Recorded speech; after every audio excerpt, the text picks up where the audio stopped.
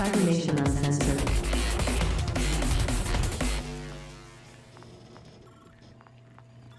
One. Hello, everyone, and welcome to Cybernation Uncensored Masquerade of the Mighty, a Masks the New Generation live play. I am the Presence, the GM, lore keeper for tonight's session, and joined with me here are three of our wonderful heroes. As always, introduce ourselves before the beginning of the game and the characters that we are playing before we roll into a opening of the issue for tonight. So first, let's go ahead and start with the wonderful Adam Ferry. Hi, everyone.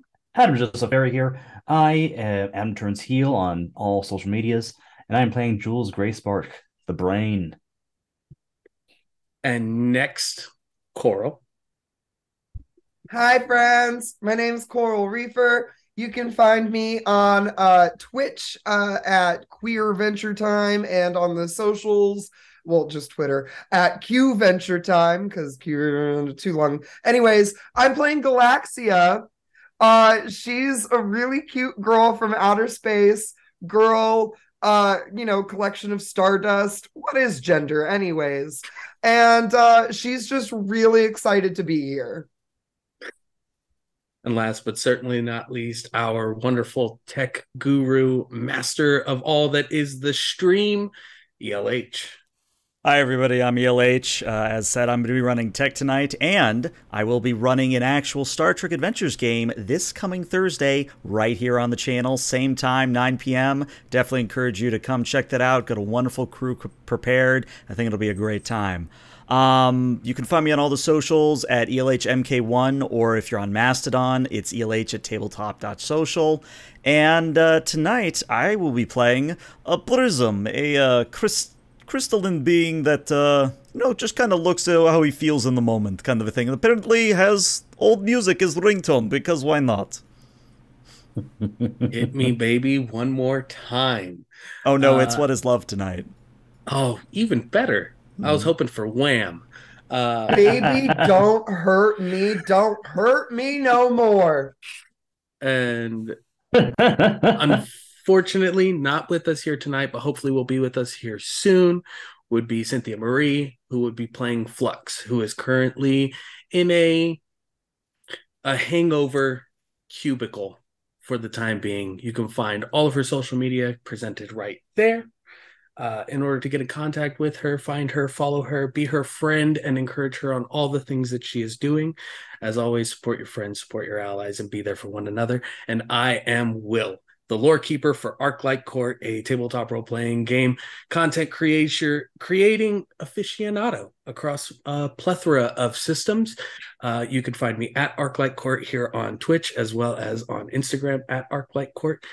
And tonight we dive into issue three Masquerade of the Mighty, second star to the right. The cover of issue three shows a familiar galaxy nebulad hand pointing into a night sky to a second star on the right of a moon. A bit of uh, backsplash of blues and cosmic purples, yellows, golds, and greens uh, amongst the night as his hand reaches out. As we turn past the cover page, we come to page one. It's a news report, live feed of a helicopter moving over the top of a forested area just outside of Halcyon City. In the top right corner, you can see Halcyon News, HN, reporting live as several members of the Golden Sentinels are moving through the forested area after a jailbreak at the Gorget Warden. A unnamed villain at this point in time has escaped, and the Golden Sentinels are moving through the forested area, scanning over, trying to recover and find the said escaped villain. Several panels show Sentinel, Sparta, Fracta, Portent moving between the forested lines, flying over the top, uh, energies being waved over the trees. Fracta in um in 12 different places all at once, looking over the area, trying to study and find any clues or information.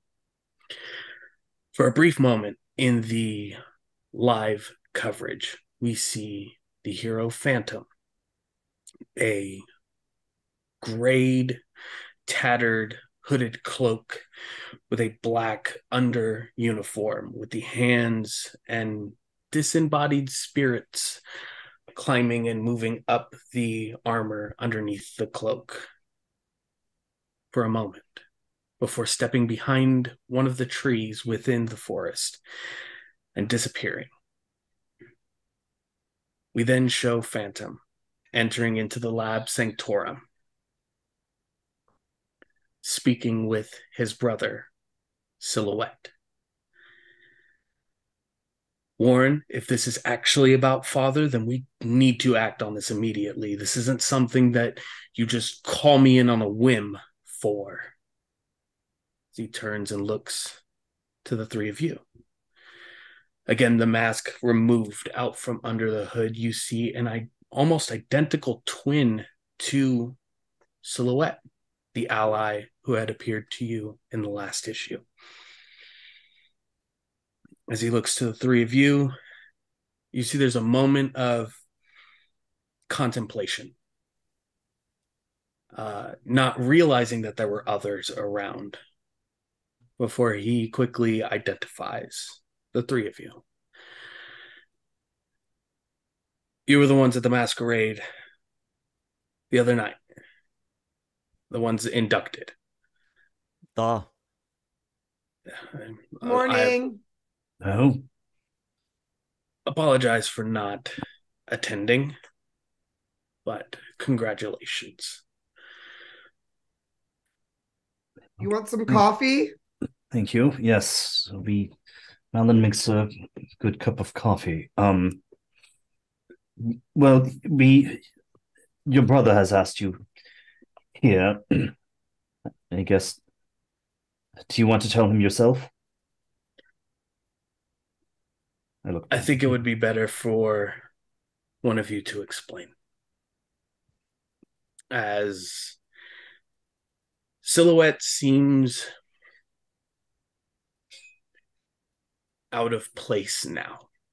Where before there was that confidence, there was that openness, there was that willing to work together to solve what this problem may be, or even get a better understanding on it. Now, in the face of what appears to be his twin brother, there is a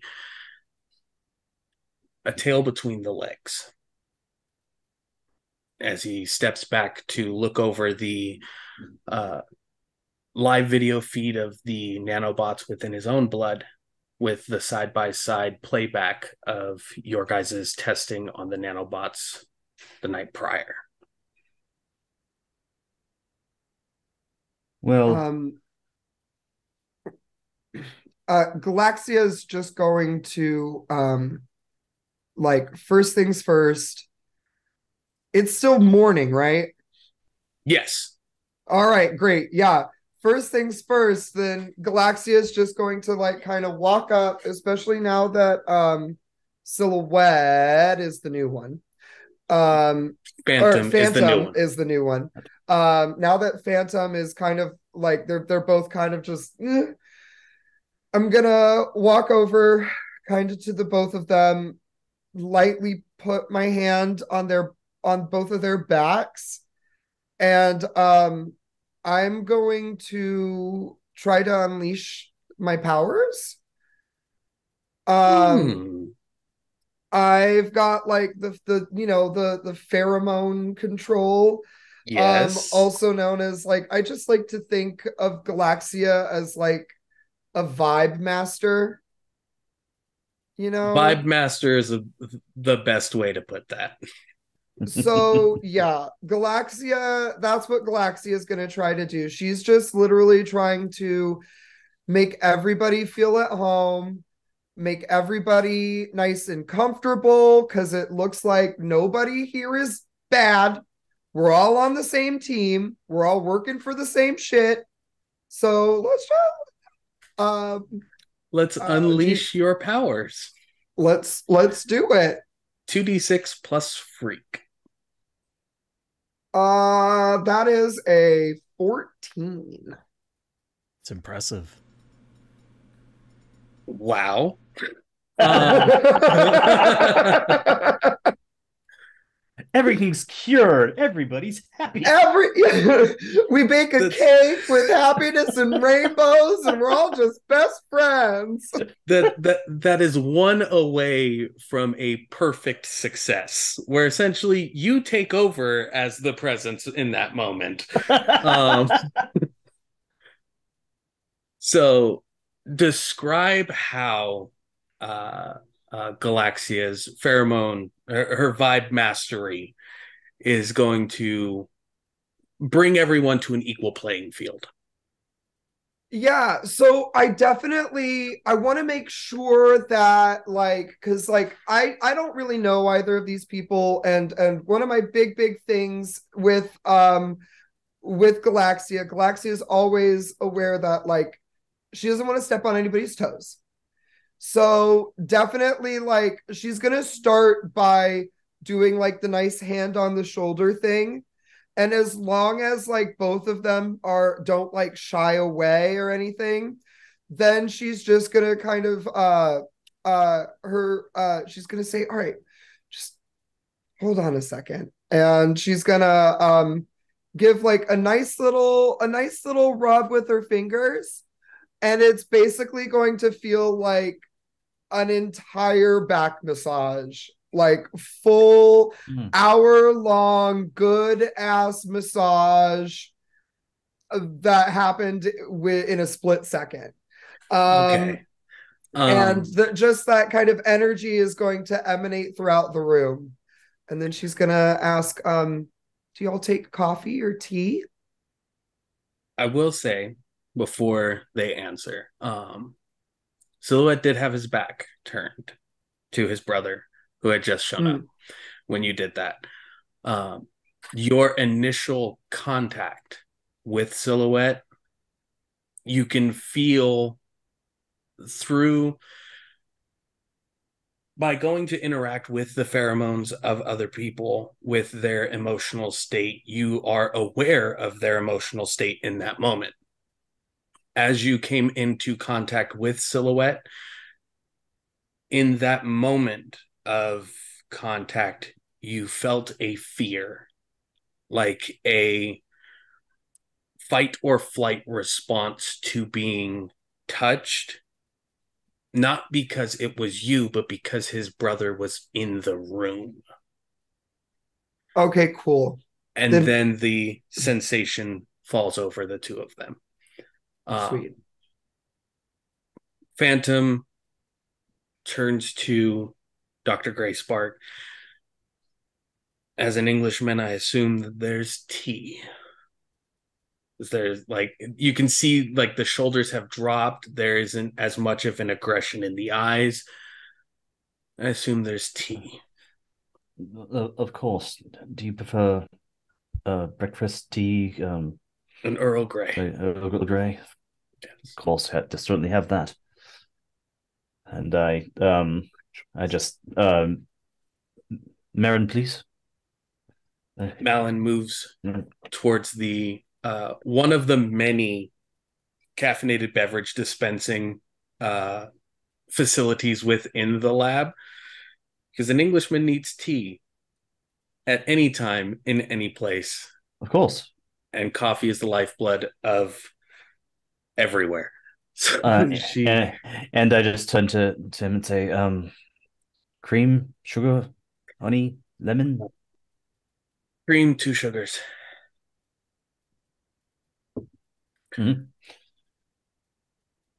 And um, once everything's kind of settled down and spirits are a little calmer, I proceed to kind of brief um, Phantom on the situation. Um, Phantom does tell you, uh, he motions towards his brother first. He says, I was a bit abrupt. Uh, didn't realize that there were others here when I was summoned. That is my brother Warren. Silhouettes is Warren. Oh, I think on my end, either I'm lagging or Arc just dropped. Uh, no, I it, it's happening to uh, me too. Okay. Our All presence right. is our presence has left us. Looks like our our presence our presence is is frozen. Yeah, which presence um, has frozen. We'll give them a minute, and don't freak out if the uh, the overlay messes up. But uh, hopefully, we'll get him back in here quickly. In the meantime, uh, vote for your favorite uh, K-pop band in the comments below. Oh no, there he is. He's back. He's back. There he is. The presence was uh. Galaxia for a second. Whoa. Too much power. Mm. Uh, where was I last heard at? Uh, uh, we we learn that uh, Silhouette is Warren. Yes. Okay. And Phantom's name is uh, William. Uh, he explains that they, and he uses air quotes for brothers when he goes to explain this. Uh, he continues on to say, Do you believe that these nanobots are within my own blood as well? Or is this Am I here to be a control group?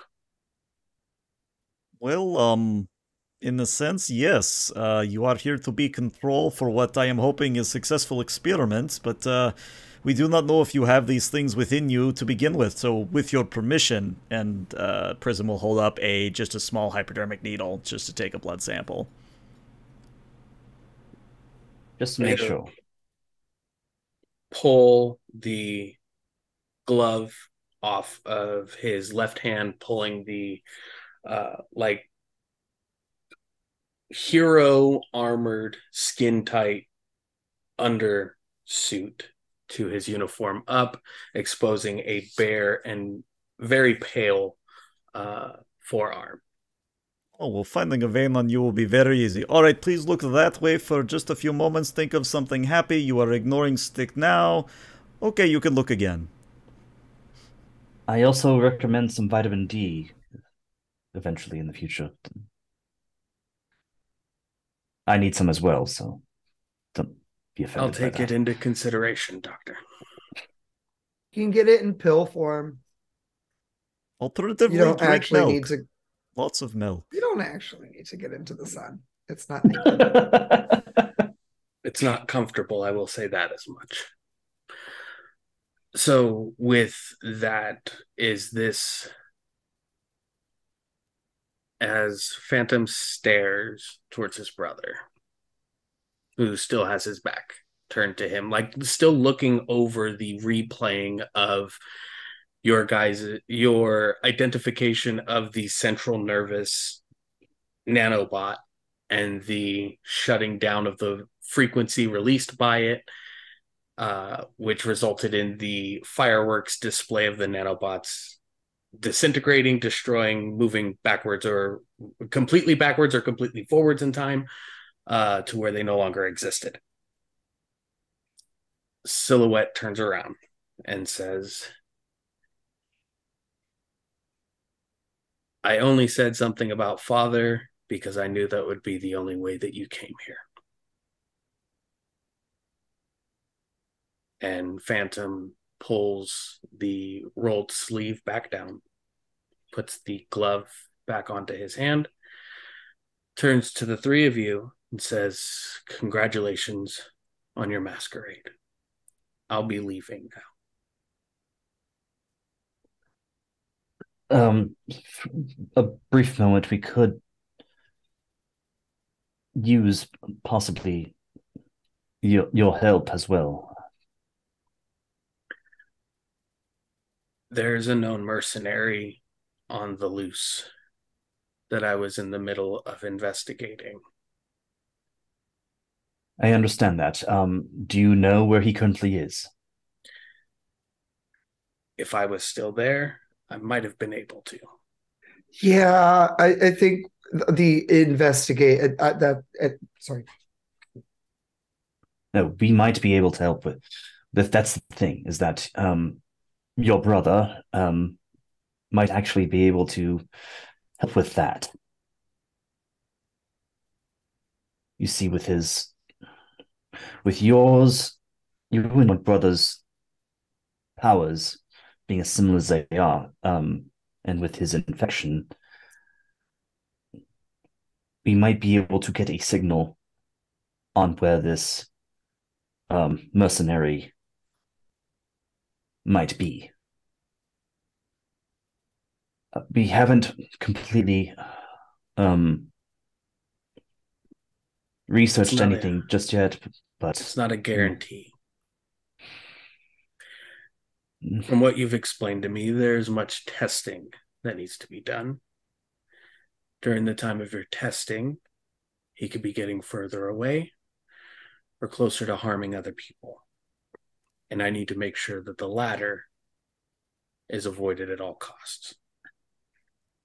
Well, I'm not I'm not entirely disagreeing, but uh, and I kind of look questioningly at the others. If you would be willing to skip the trial phase, I could attempt something on you directly, and if it works on you, we can try it on your brother. It would skip again, it would skip the trial phase, a lot of experimentation, but there is a potential for good here. And what what what what numbers dictate what numbers dictate success and what numbers dictate the possibility that I will be inert and incapable of helping people, protecting people, or chasing this person. Well, that's actually the best part, is even if the experiment on you fails, you're not the one that's going to be in danger. It will be me. Are you sure you want to do this, Prism? Of course, I'm in a unique position to uh, be offering these services. And I don't want to do it in character because the voice is going to skew it, but basically, Prism's going to launch into an explanation of the same way the COVID vaccine works, where it messes with the way the cell views other cells. And I want to do that to, um, obviously, the shadow cells feel like we need a name for the shadow cells, but I want to do it to the shadow cells of our lovely control group. And again, if that works, great, we'll do it on silhouette. But if it doesn't work on the control, then I need to figure out something else. How long would that take Coral... me to? Go ahead. No. Both Coral and Galaxia right now are both just like uh, oh, Galaxia will, however, will offer up. Um, and she is just going to say, "I have no idea if it will help, and I honestly don't know what you're doing." But um, uh, Galaxia will roll up her own sleeve and say, "But I do know that I have a different composition from everybody else on Earth, and if it'll help, I mean, it's up I am a resource too, but I'm just gonna watch in awe. Well, it's actually a very simple process. Let me uh, perhaps narrow it down. Sorry, I sometimes get into weeds.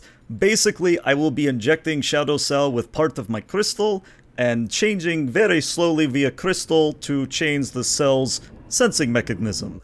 If it works, great, it'll attack the nanobots. If it doesn't work, well, then shadows are going to be attacking me. So, fun times ahead. This sounds like an experiment that can be done without me here. Well, that's the thing. If I do it on you and it works, then you're good to go and I can do it on your brother. If I do it on your brother and it doesn't work, well, complications. You have a sample. I do, and yes, I need, but. And I need to stop a bloodthirsty madman. Then please indulge us in taking one of these. And I um, called Ramalin and um, asked her to give me one of the communications I gave to the rest of the group. Alrighty. Malin goes in and grabs one of the wrist communicators created mm-hmm. by Dr. Grayspark and presents it to Phantom. Phantom takes it, and you watch as the the hands and like they're almost like chalked outlines on this Kevlar skin tight like armor.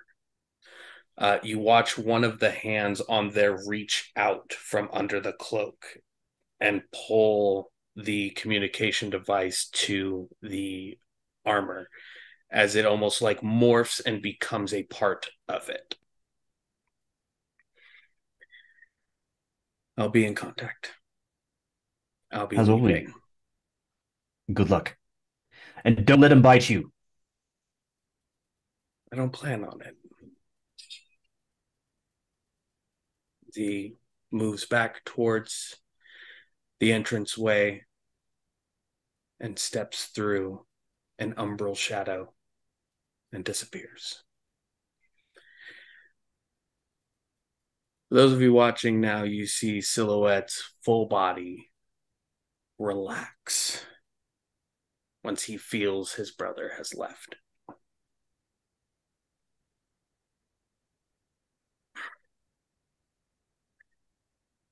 If you want Man, to he's try it, try it on me. I kind of was hoping I could have full control, not just sample of blood, but uh, hey, you know, got to take risks, got to break a few eggs, yada yada yada.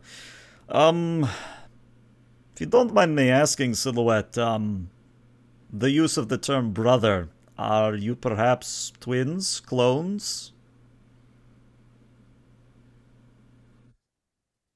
An extraordinary situation of both. Hmm. One of us is the other's shadow. Oh, that's very clever. I like that. Our father did that so that the other had a sacrifice in order to gain his power. Oh.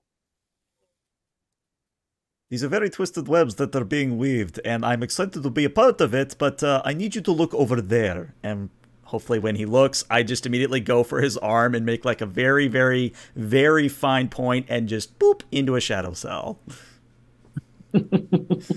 Give me an unleash your powers. Oh boy. All right. Uh, well, I mean, that's with freak, so that's a plus three. Oh, we got a Would that plus be two on our help? next roll. We're good. Oh, We're good. Oh, Thank we you, chat. just got a plus two.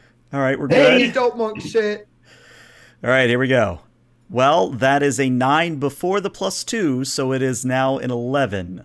Hey, Alrighty. Um dope monk shit. Galaxia or Dr. Grayspark. Would like one of you to roll to take a powerful blow for me. And it hmm. will be plus two on the roll. It is not Take for eight. your character. Take a powerful blow. Yes. Okay.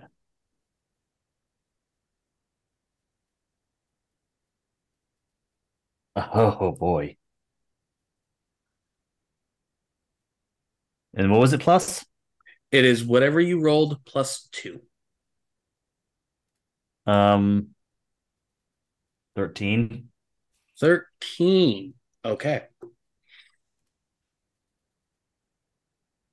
Prism, this is the finest manipulation of your crystalline structure. Because there is a moment of genuine love in a this person does not deserve the feelings that they are feeling, the position that they have found themselves in. They deserve to be supported. They deserve to have people standing at their side, at their back. They probably needed somebody to protect them. And there's a portion of you that identifies with all of that. And so that is why the necessity of getting this right on the first try was so important. And you succeed.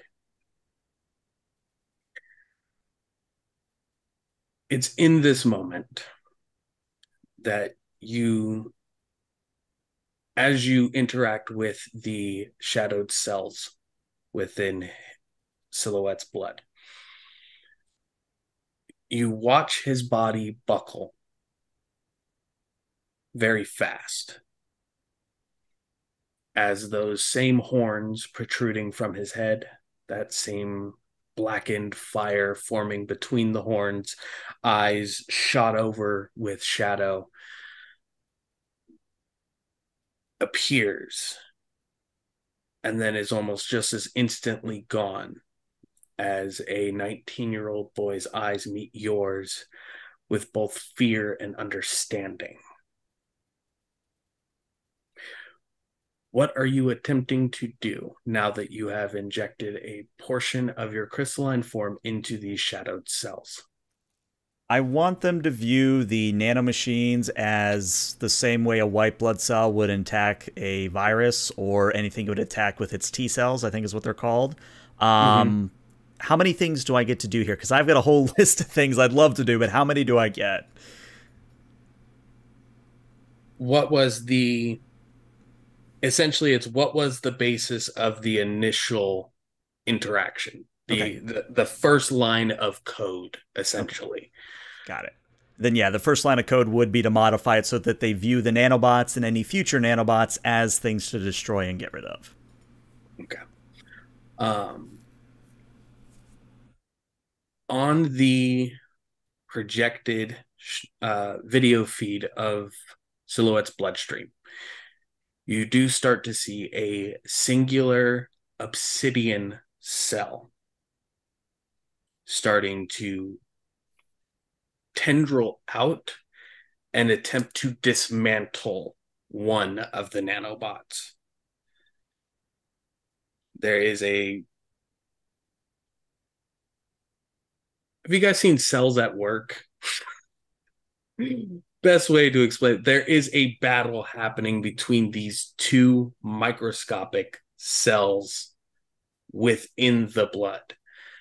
The other shadow cells are trying to defend the nanobot, but in trying to defend the nanobot, are then also becoming crystalline obsidian shadow cells, identifying the obsidian one as one of their own, replicating they are beginning an attack on the nanobots, at least from what can be seen. This is going to take a long period of time. And currently, the side effects of it are unknown. But you do see and are aware that the shadow cells are replicating once coming in contact with the obsidian cell and then fighting against the nanobots. Prism withdraws the hand that was poking, kind of looks at the screen, looks back at Silhouette, and goes, Well, I'm excited to say that uh, test result was positive. I probably would say you're going to be here for, I don't know, six hours, eight hours a week. Who knows at this point? But, um, it worked. And then, and, oh, hold on. Face into chest. Oh. Knees buckling into one another. Oh. Goes limp against your body. Well, that is not breathing. Good. I immediately check his vitals. Just he is still breathing. There is still a pulse. Temperature is slightly low. Not hypothermic, not deep chilled, but it is low. Well, if okay. he is shadow, um, is that normal? You're muted, Coral, as is tradition. I was thinking the same thing. you have the um, test sample that you could see if this is normal, Dr. Gray Spark. Um, but these are your, that. your current observations. Okay. I um immediately ask uh Malum to take him to a, a uh, back to a, a bed, um, covering with uh blankets. You said he was cold, right? Yes. Like how cold? Like just ice cold to the touch, or is he just like his body temperature is reading 93. Okay. Okay. Then um I I immediately just try to go to a like a heated a low heated blanket to try um um to warm him up. Um I take the sample from uh, uh, from Prism and uh, uh, the sample that uh, they put into um, uh, Silhouette, and just immediately just look uh, a little bit closer into a microscope to see what's going on. The small bit that was left on the uh, Prism pinprick procedure. Um, there is a small bit of blood there, which can be analyzed and, and viewed alongside of Phantom's sample that he provided. The sample from Phantom is showing a currently a normal heat signature that could be traced, tracked from a uh, a recently given sample. The portion that you received from Prism in order to better observe what was going on uh, is still much colder. And this just came from the body less than moments beforehand.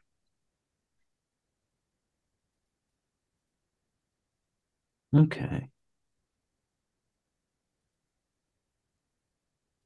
How much of your blood did you put in, Prism? Uh, just small fragment. Uh, was meant to be just a small clipping of my own crystal. I think that's what's going on. It it was a shock to the system, so naturally the body reacted by getting colder. Um, we'll have to we'll have to observe him to make sure that's not that's not permanent. Well, Um, this is, this, I mean, yes. well, this is kind of why I wanted uh, certain Phantom to be here because we could have asked him, "Is this normal?" But now we have no way of knowing. Well, we do. Um, if there's time, I uh, just try to um tell Phantom the results of our uh of our experiment, first experiment. Um, I have a question, friends. Um, and I mean, granted, I am not a scientist like you two, but also would it have made sense to try this on the blood samples that we had before just injecting it straight into him? In a sense, yes, it would have taken several hours to get the result. I was under impression time was a factor here. Yes, but um I look at uh at um silhouette and I'm like, but I don't like seeing this this this kid like this. Um and uh uh Galaxy is gonna go ahead and actually go over and um kneel down next to him and just be like, hey, what's up? Talk talk to me. What are you feeling? And actually, He real quick, if it's okay, um, now that that's been said, can I willingly take the guilty condition? Absolutely. Okay. Then I will do so. Um, Galaxy, as you approach where Silhouette is being laid down in one of the um, uh, one of the spare rooms within the lab sanctorum, um, he is unconscious. He is not shivering, though he does still feel cold. If you were to like rub a finger against his cheek or try to pat at his forehead, he is still cold, um, but is not the- shivering. Are the warm blankets doing anything to help? Uh, you currently are not there at the moment. This would have been. Galaxia stepping over to check on him. You're still looking at the the rest of the diagnostic information of the samples at hand. Yes. Galaxia, what is the ringtone on your cellular device? Um oh god. Uh it's it's probably um it, it's not David Bowie's like ground control to Major Tom, but it's the uh um hello Major Tom, are you receiving? Turn the thrusters on. It's that one. You know that one? Yeah. Thank you. Um, I think Blue Oyster Cult, but I like the Shiny Toy Guns version. Your cell phone goes off. now, It reminds me of home. normally uh Galaxia doesn't have to save people's names with their numbers. Whether this is an absent-minded decision because I know who I give my number to, or a I don't remember who I gave my number to, so if I don't put a name, it's easier for me to ask, "Oh, who is this?" when I answer the phone. There is one number that was programmed into this phone when Galaxia received it. Oh shit. And you see Agent Ryuk as the contact name moving across the screen. As Hello Major Tom is the next words of the lyrics playing. Uh, she waits until it gets to the point where it's like coming home. She's like, all right, fine. Hi. I was told you were looking for me. Is everything okay? Um. Oh shit. Now this is Coral forgetting what happened a month ago. Um. Why was I looking for him? Uh, you received a message from Hermit, the former dean of the Society of Sabers. Right. And Ryuk retired before the Society of Sabers was shut down from being essentially a child soldier anti hero group. and he is the one who might have access to some of the info Aegis, that'll help the- us with the there we go see i ju- she just needed a little bit of a jog a little bit of a jog Just reel it in just a little bit. Yeah just, just um okay awesome um i'm just gonna be like um oh, yeah um hi Th- thanks for getting getting back to me um how much of the of the news have you been keeping up with Well, I was at your masquerade before things went sideways. oh yeah started duh. getting people out. Um, I know that there is a villain, and you can almost hear his air quotes yeah as he's talking. There is a villain on the loose that broke out of the Gorget Warden. All right. Um, I'm also aware of your group's interactions with a Vanquish Industries enhanced seeking droid. Yeah. Yeah. Yeah. Um okay, cool. Cool. So what do I need to catch you up on? First things first. Um you remember the whole thing that happened at the masquerade? Well, turns out uh, Nanobots were are- inside of the heroes and inside of the people who had them, and Yep, that's what gave them the powers. we looked at down. we we're looking at the nanobots under a microscope right now and Okay. we well not right now but we did and we zoomed all the way in and uh you can note galaxia is using the most layman's of layman's terms okay He's fully um, prepared for this. He knows how the communication goes between the two of you.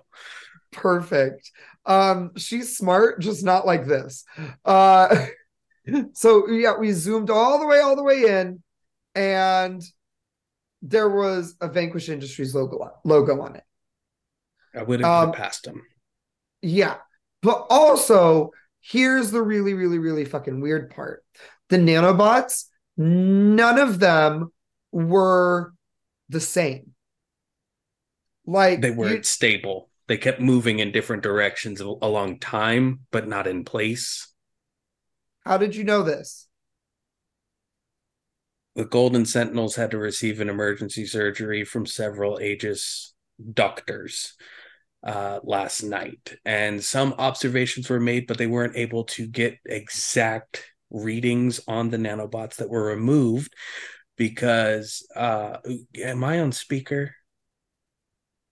Um no no, but honestly you kind of should be.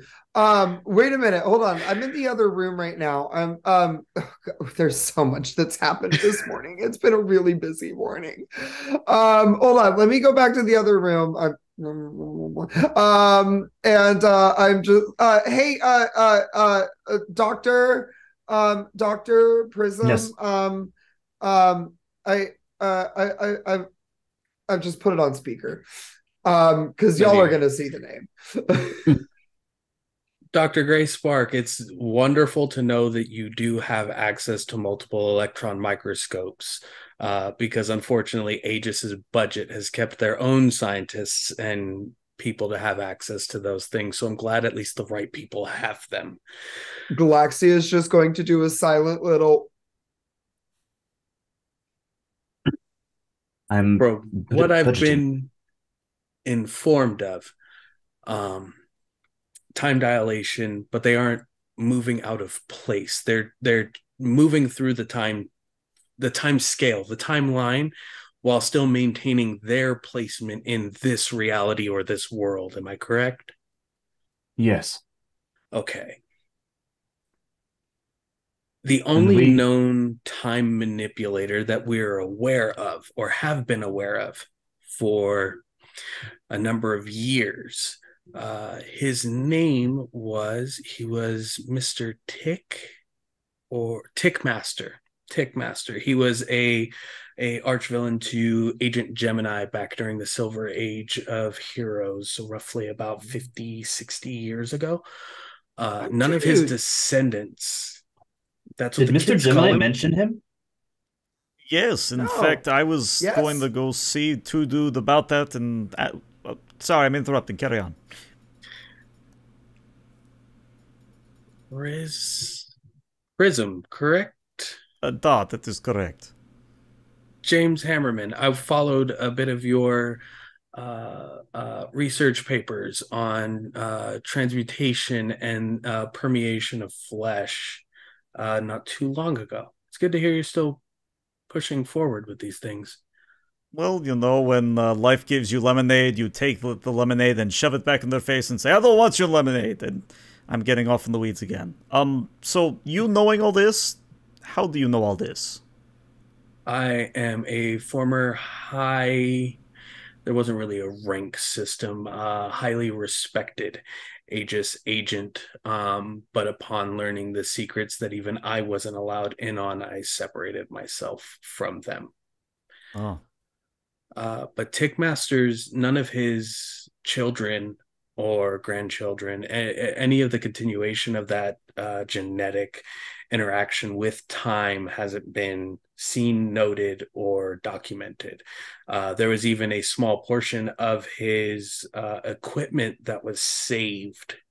Uh, it's on display at the Golden Sentinels uh, Coliseum, where your guys' masquerade was held just in case anyone did decide that they were going to interfere with time, we do have something that can offset it by at least a few seconds to possibly stop them if needed.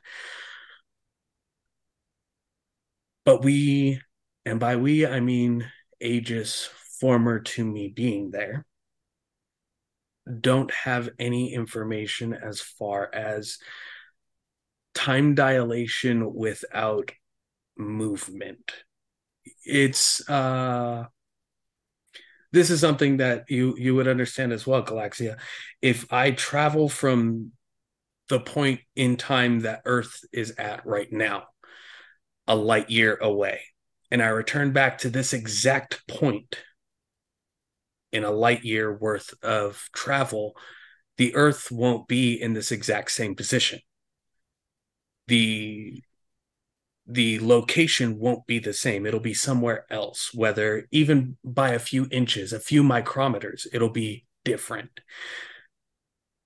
Mhm. from what's observable, or at least what I am ascertaining, Dr. Gray Spark, is there is no shift in placement. They are moving through time exactly in the place that they are moving. So they either simultaneously exist across all time in that exact same point, or do not exist in any time except for the moment they are observed. Galaxia puts the phone on the table and goes and makes herself a cup of tea.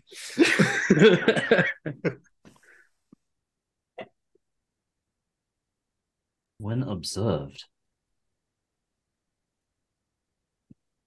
none of the none of the the nanobots can be observed by the Aegis scientists currently. Now, if they were to be observed, they might be moving through time as you all, as you have been able to deduce and factor. Without viewing them,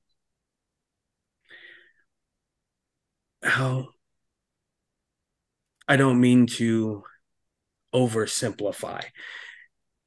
If you get a paper cut and you aren't aware that you have the paper cut, you have no reason to act or engage in anything different than you normally would. But if you are aware of the paper cut, you then avoid citric acid, you know, oranges, soaps, things of that nature because of the burning sensation without being aware of it, your body can't identify it. If they aren't observed, they don't exist. They only exist when they are observed. At least this isn't a, a theory that I have currently. Galaxia returns with her with her hot water dunking her tea bag she's all like, okay, okay, okay, okay, okay. So you're basically saying that, like,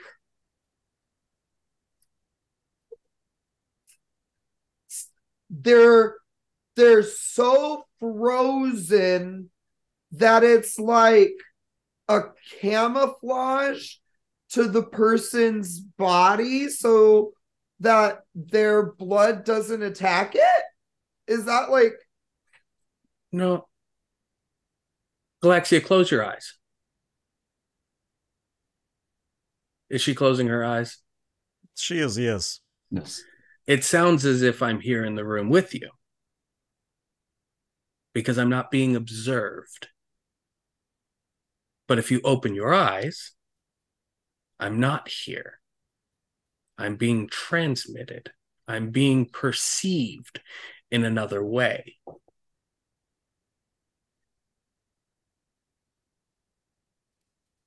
It's just a theory. Obviously, you have uh, articulating particle theory, where when we view the moving of atoms, uh, we see them moving in a specific sequence, but when we aren't observing them, they move in a random, uncalculatable uh, uh, uh, uh friction, distance, separation when we aren't observing them. But when we are, they're focused, they're linear, they're performing exactly as they should be while observed. Oh, I get it now. And I look at Dr. Gray Spark and Prism, and I'm just like, long story short, or perhaps even simpler version, is um, when we look at them, we see them. When we don't look at them, then they might as well not exist to us observing them. Great. So one moment, and I um I'll go over to um I'll go over to the um kind of test uh tubes of the original samples that I got. Mm-hmm. Um, and I find kind of an isolation room, and I I I'm sure I have some kind of I ask Malin, who is technically not sentient in in in a way. Mm-hmm. I ask her to stay right there. Um, and when I have this, uh, when I give the signal, uh, focus your camera on their night vision, uh, on on the samples, and I'm gonna go out of the room, keep the lights off. Now, last time I saw them, I saw the nanobots kind of doing their thing at Mhm. the random, uh, separate random parts at uh, at a time. Um, so I'll go outside of the room, turn off the, uh, and as I turn off the light, and I go over to a section uh, of, of the room where I can see uh, through Malin's um, point of view, and um, I turn on the the camera, um, ask her to look through the microscope without turning on any lights. Uh, I just tell her to turn on the night vision. I would I like this is a you little- to give me an unleash your powers, as this is a complex scientific theory and experiment that you are carrying out. Yes, it is. Also, real quick, Will, I do want to give you a, uh quick shout out. Like, this is something I studied in college, and I'm trying really, really hard not to geek out about it. Six, seven. Can you tell that I studied theater? uh, that'll be a with with my uh, new superior. Um, is the unleash power? Oh, come on. That's going to be. I rolled a ten, so um, you got a 10? Okay. Yeah, because you I add my superior, right? Uh, when using the lab equipment or any of your gadgets, yes. Yeah. Alrighty. So, initially,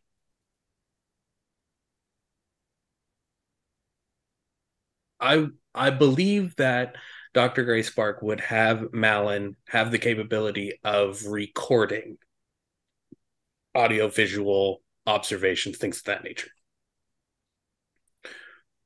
When you go to perceive through the video feed from Malin, you are seeing the nanobots. But you see there's a portion of time before you started observing that she was recording. And as you trace back, there are zero nanobots. Zero.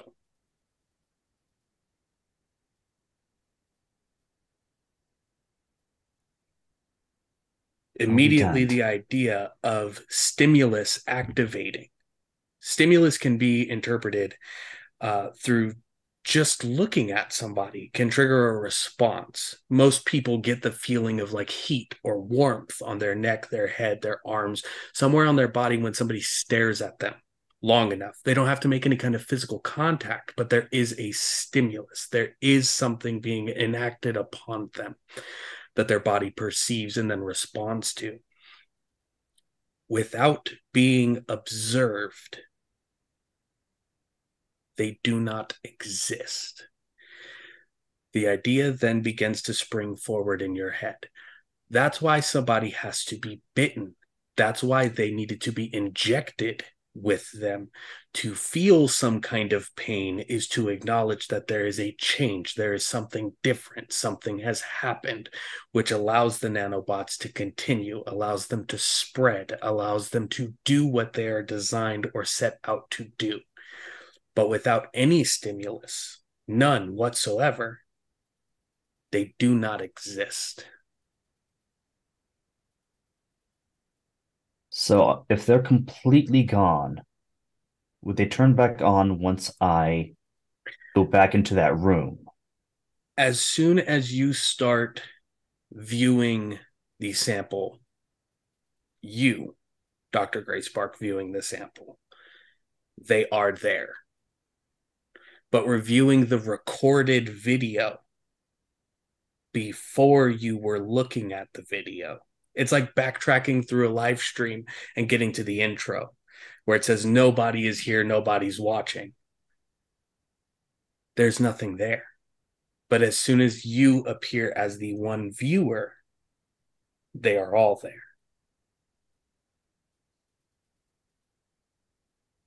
Fascinating. There's about two seconds so that there was just nothing. It's all just normal blood samples.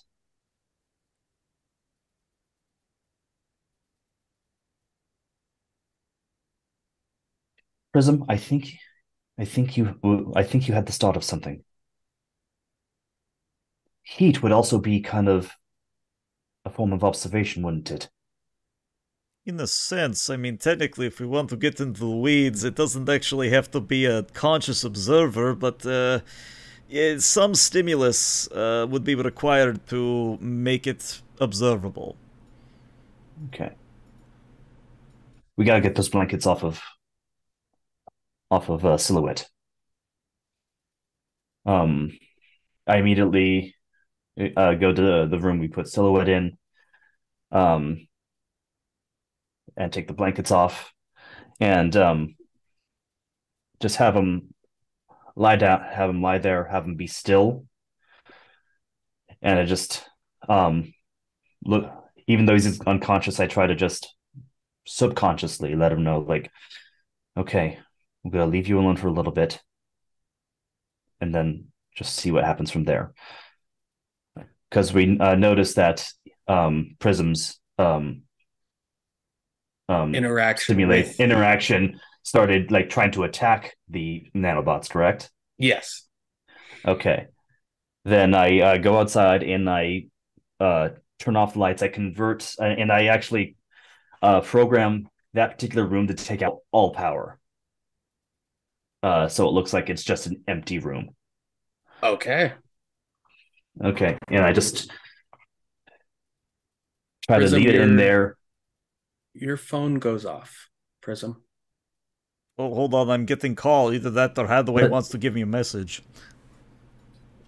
What is uh, well today's breaking news ringtone is "Hit Me, Baby, One More Time."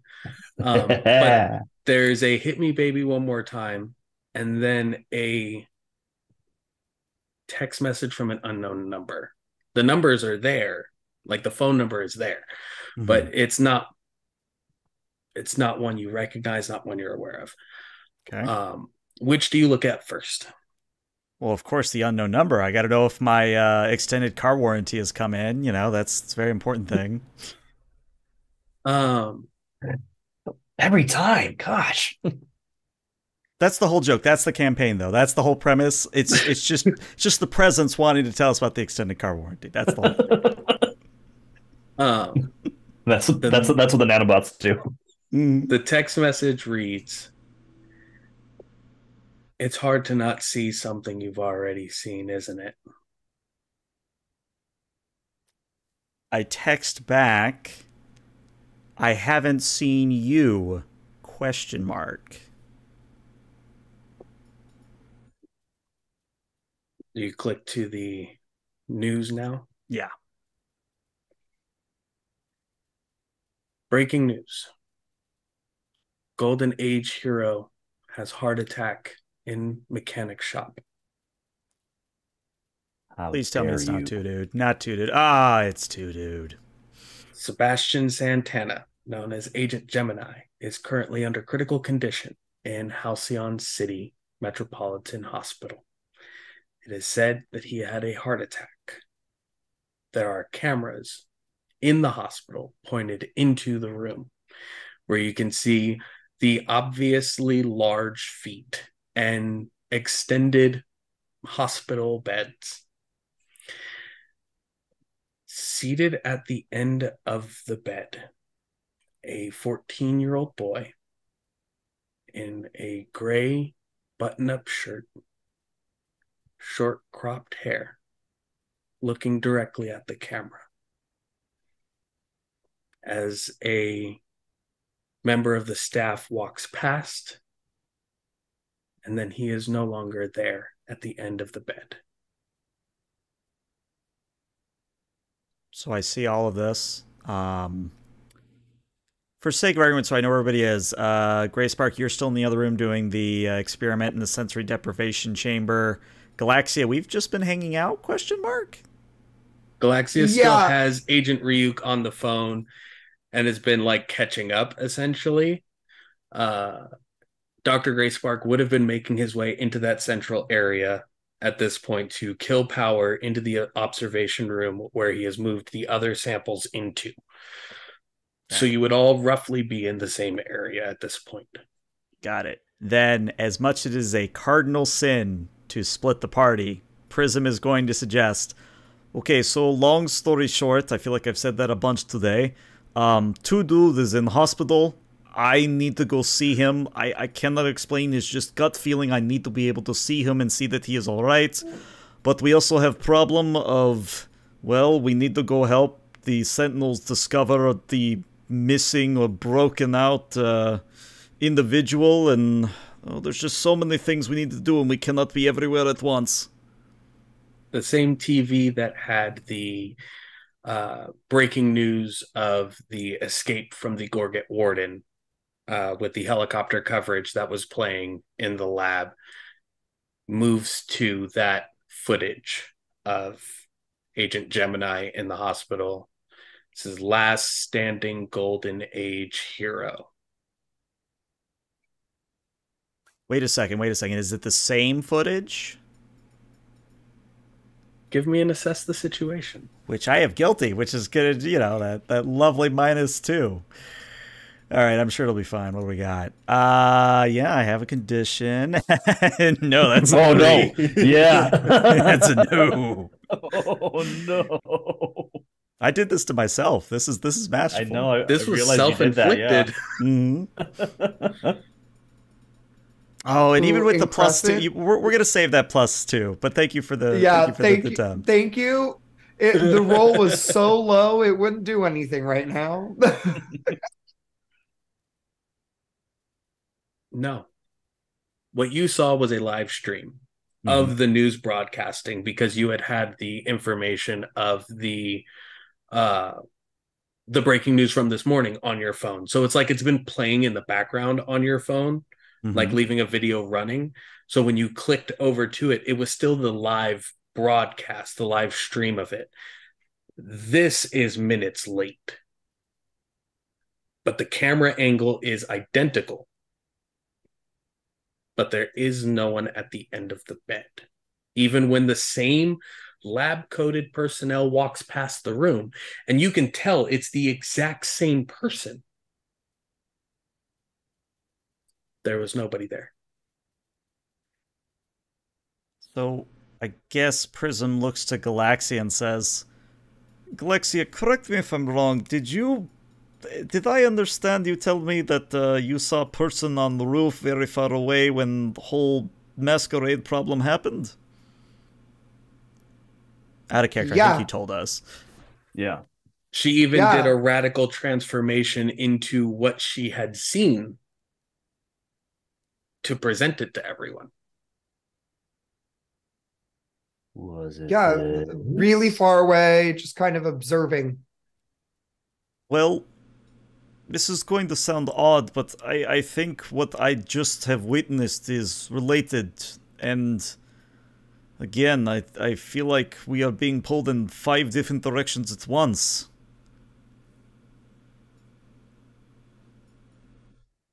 I mean, you you think you saw the that figure with Gemini?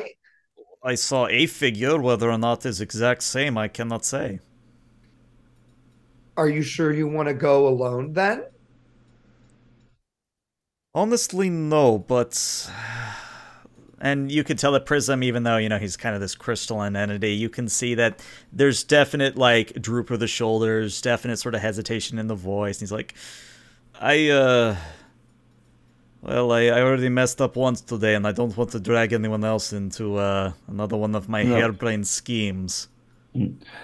Galaxy, uh, you should uh, go with them and um, maybe just make sure make sure Gem- um, Mr. Gemini is okay. Um, after hearing what uh, Prism observed, uh, you might want to double check and make sure he's completely all right. I mean, heart attack so suddenly after helping us is a little suspect. Yeah, and he has the heart power of two dudes, so I would imagine that that would be very difficult. Exactly. So maybe maybe the hospital staff hasn't seen anything yet. Maybe you two can um, take some extra care. Um, Professor Hammerman, you said you saw someone in the hospital. Did you hear Agent Ryuk still on Galaxia's phone? Oh right, you're still on speaker. Sorry, I, I forgot a moment. Um, yes, I saw and I described the individual that I saw.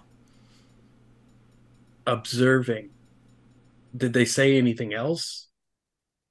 Well, there was strange text message that insinuated that uh, it's strange seeing the same thing again or something along those lines. Uh, As you read the message, it's hard to unsee what has already been seen, isn't the way it? you put it.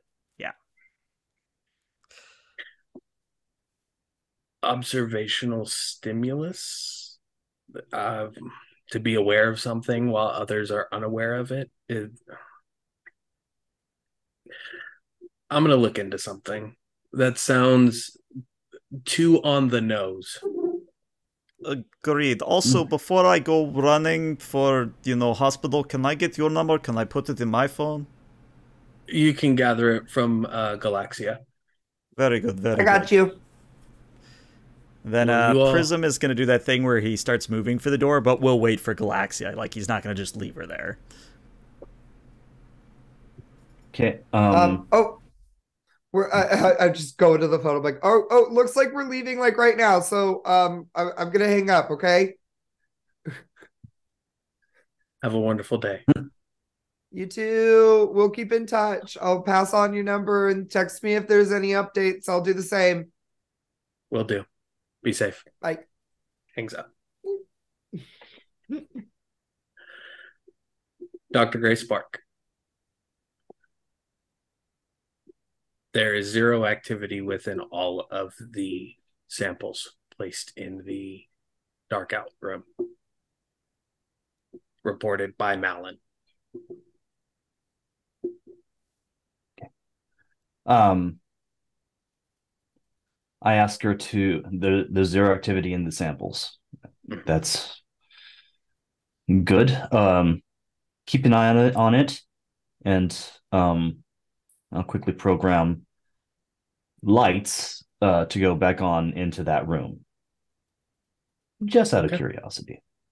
You do also have access to Silhouette's advanced technology that was left on the table in front of you. Those pauldrons that had the holographic display and even access to the video feed within his own veins. Ooh, ooh. I'll hook that up um, to the screens and see what see what he um, went through. um, in the moments where he went unconscious and was laid down by Malin while no one else was around, zero nanobot existence within his bloodstream. Though the shadow cells continued to become obsidian cells while interacting with one another seemed to expedite the process because looking at timestamps and interactions and things of that nature, uh, when Galaxia re entered the room, more than 40% of the nanobots had been destroyed, dismantled, or removed from the bloodstream. When Galaxia left the room, they ceased to exist again. More of the shadowed cells became obsidian cells continuing this newly generated combative system against it.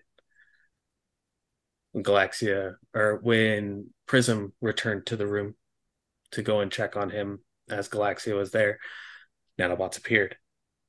Less than 45% in population within the bloodstream. How much time between those two? Minutes. So it went from above 45% to le- under 45% And then within minutes. Oh, excellent. Prism left the room. You guys began conducting the experiments on the other samples. During conversations with Agent Ryuk, all of these things taking place. As you look at the current feed, there is less than 8% nanobot population within the bloodstream while you are observing it. I shut it off one more time and I, I'll wait exactly. I'm gonna put on I'm gonna put on um because this is making me happy, I'm gonna put on some butter. I'm gonna put on some BTS butter. Because it's making me happy. And that's where we'll take our break for this evening. As Prism and Galaxia make their way towards the Halcyon City Metropolitan Hospital to go and check on Agent Gemini, Sebastian Santana, or Two Dude, as he is affectionately known. And Dr. Gray Spark continues this unobservable theory that may have resulted in saving someone's life. We'll go ahead and take our break here. Get yourself something to drink, use the restroom. We should be back in roughly about 10 to 15 minutes. We'll continue on with the story.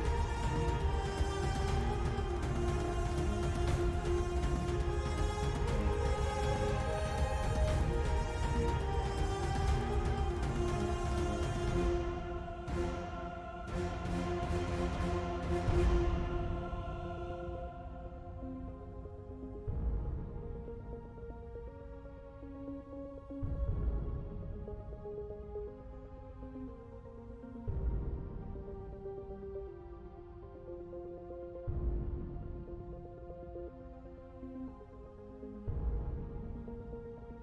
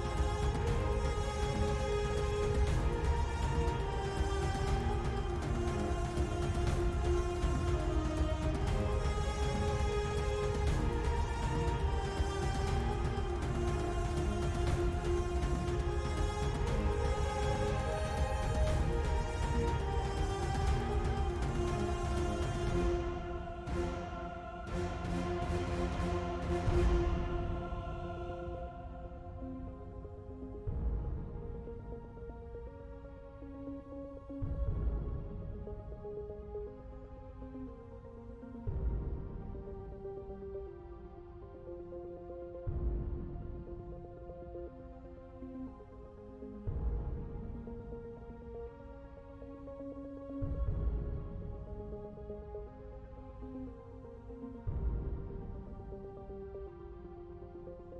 you.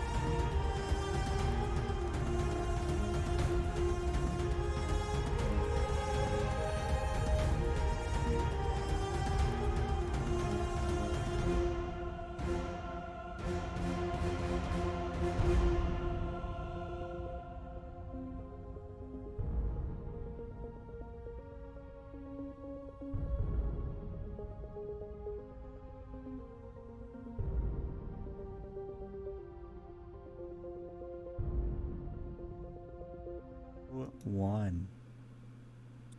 Welcome back, everyone, to Masquerade of the Mighty here on Cybernation Uncensored, a Masks, a New Generation live play. We are here with our heroes after the revelations, discoveries, interactions, conversations, and a few breaking news updates. We find Prism and Galaxia leaving the lab sanctorum. Yeah. Um awesome. Yeah, we're just gonna um Galaxia is gonna gonna just lead us on to the uh the spaceship and um we're uh she's gonna make sure that like the uh the inside conversation pit is like especially comfy right now Okay. Um Getting the And yeah, Kirby like- craft prepared for thorough conversation. Oh, is that what Yes. we're calling it now? That is the name of the ability for the outsider for their shift is called the Kirby craft. Oh no, I meant the other thing you said. Oh. the con- conversations yeah con- yeah yes.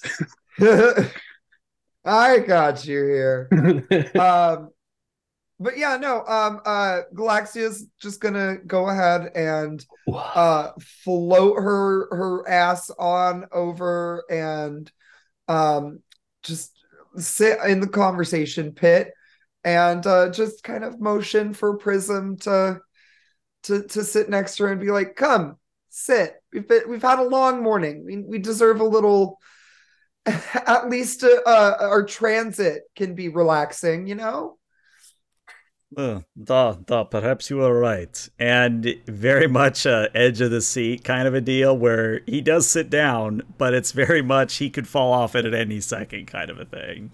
He's very tense. He's got his arms crossed across his chest. And overall, he just seems to be tapping his right foot very nervously or anxiously. gonna sit up straight and just look you in the eye and be like, "What's up, babe?" Well, uh, starting to question my own judgment. Uh, as it is, you know, I, I was very impulsive when I uh, went and tried to help Silhouette. That uh, I forgot that not everybody is impervious as I am or as you are. I uh, I feel I've acted rather rashly and very foolishly, but uh, I can only hope that I haven't doomed the, the poor individual to something worse than what he started at.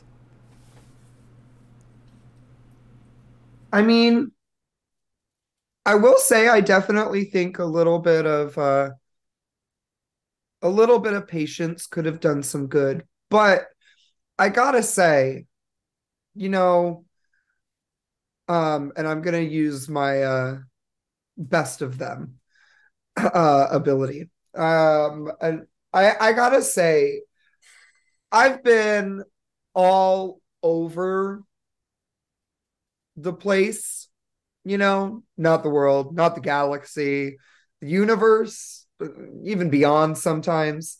Uh rarely. But anyways, that's another conversation. Um I've met a lot of different kinds of peoples. And I've met some really, really rational ones who would have stopped and waited and tested.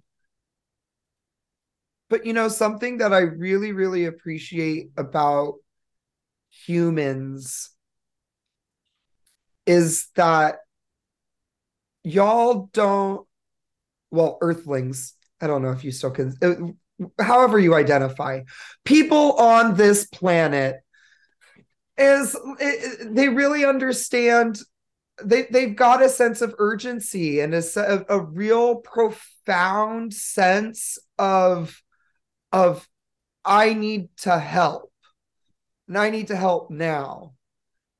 And I don't know, Prism, I think that's exactly what you did. You know, I mean, you saw somebody in need and you instinctually really like like you you knew that you had something that that that could help and Roll to comfort and support using Let's freak go. instead of mundane. Let's go. Um. There is a plus two up for grabs. Yep thank you, Crescent. Moon. All right. We're there. We go. Boop it boop. Did it do the thing? Oh no, I clicked on the wrong thing. There we go. Oh, okay. What? 11. 11. Eleven. Is that with the plus two from chat or Nope. It Nope. is just with my freak. So we still got one in the chamber. Mhm. Now, Prism. Yes. You can mark potential, Mm-hmm. you can clear a condition, Mm-hmm.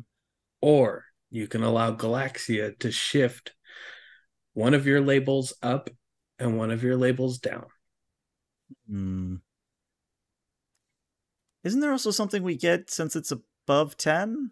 Yes, but Yep. in order of operations. Got it. Okay. Um, Can I add a question to that of at what point would Jules possibly contact uh these two um reporting my um findings This about would be- uh, silhouette? Uh, so, given the time that Jules would have spent uh, looking at these observations, taking notes, and then setting the next experiment, um, they still have a little bit more time before you would have been in contact. Thank your presence. Then I think Prism's going to hear what Galaxia is saying and is processing it, but he's not quite ready to let go of the guilt. So if it's okay, I'd like to mark potential here. Absolutely. Now, Galaxia, you can choose to add one point to the team pool, which is currently at two, or clear a condition that you have on yourself. Well, I do not have any conditions. So, We'll add one to the team pool. yeah. Which, real quick, can you remind me what that does again? You can spend a point from the team pool while engaging a, with a dangerous threat. So, in the middle of combat kind of situ, uh, situation, outside of combat, you can spend a point from the team pool to give yourself a plus one. For each additional point from the team pool, you increase that plus to a maximum of three. Cool. So now with two points in the team pool, uh, Prism, how do you respond? I think he relaxes just a little bit. He doesn't completely let go of his nerves, but he says, You know, I, I think you're right, but uh, it would be very callous of me to just go from one thing to another. As much as I joke about being impervious, you know, the one thing that this whole crystal thing hasn't changed is the fact that uh, deep down, uh, well, let's just say I have some very insecurities about myself. Oh, I understand that. But uh, here, I can at least be giving you this as token of uh, your goodwill. And uh, I don't know if you want to call call this a roll or anything, but he'll make another splinter of crystal, and when he holds up the splinter, it unfolds into a crystalline rose, and he'll hand it over to Galaxia. Oh, No roll needed.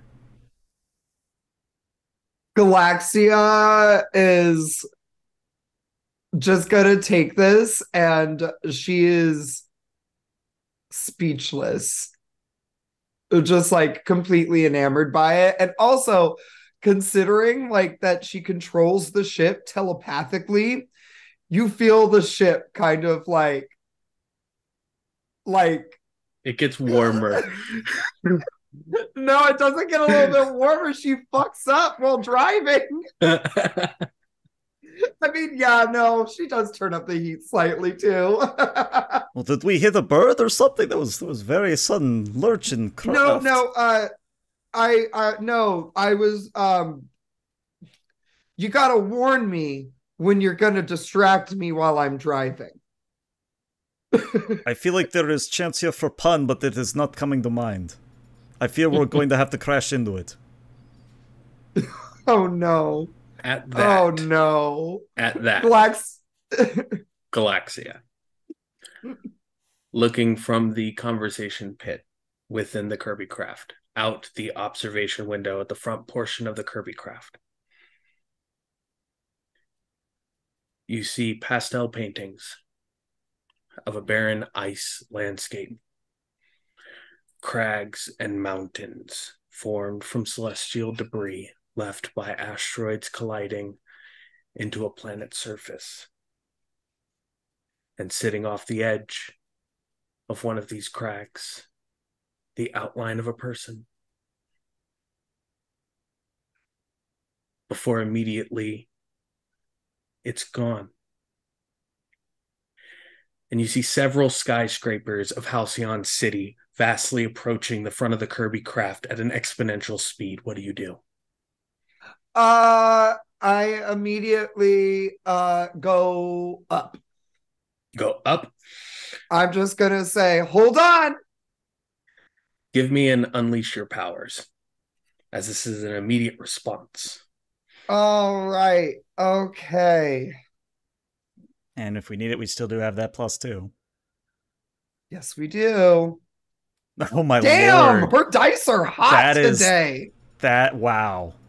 While you are flying your ship, you use superior, not freak.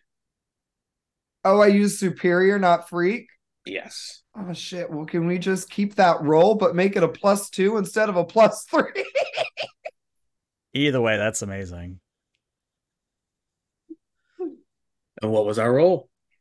um, okay, let's see. Let's see. Do you want me to re-roll it or No, no, no. You can keep the roll. Oh, okay, then it's a 14 instead of a 15. 14. All right. Unsettling. Was identical to the painting that you saw this morning, your own painting that you painted over the person sitting on the edge of that crag.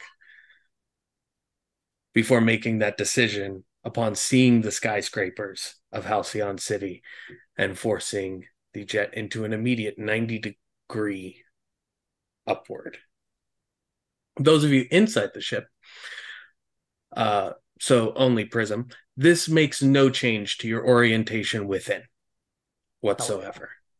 Galaxia, you are aware that I just shot 90 degrees from zero. There's an understanding of your own craft that you made sure that the interior gyroscopically shifted so that none would be affected by it. Nonetheless, unsettling.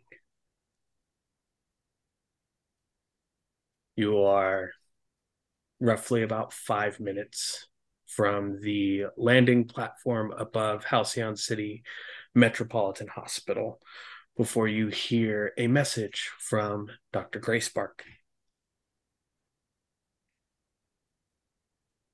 Prism, Galaxia. I, I'm. It took some time, but it looks like it's it's working. I put silhouette in the isolated room and uh, observed all the nanogenes, and after after a couple of minutes, approximately uh, thirty minutes, approximately thirty minutes, they're gone. Gone as in you're not observing them anymore, or gone as in gone gone? As in gone, gone. That so in the in the test samples from uh, the victims from the ma- masquerade, they are technically there.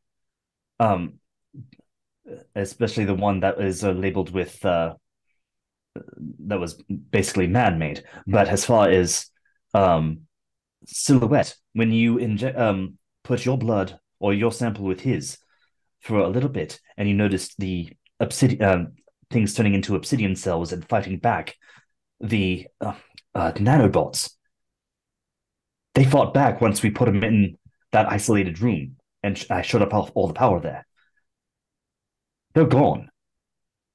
Actually, did, did I notice after they were all gone? Um, is he still unconscious? He is still unconscious and going and observing what is currently within him right now. Um, there is 5%, but it has stayed at 5% from this point forward. Okay.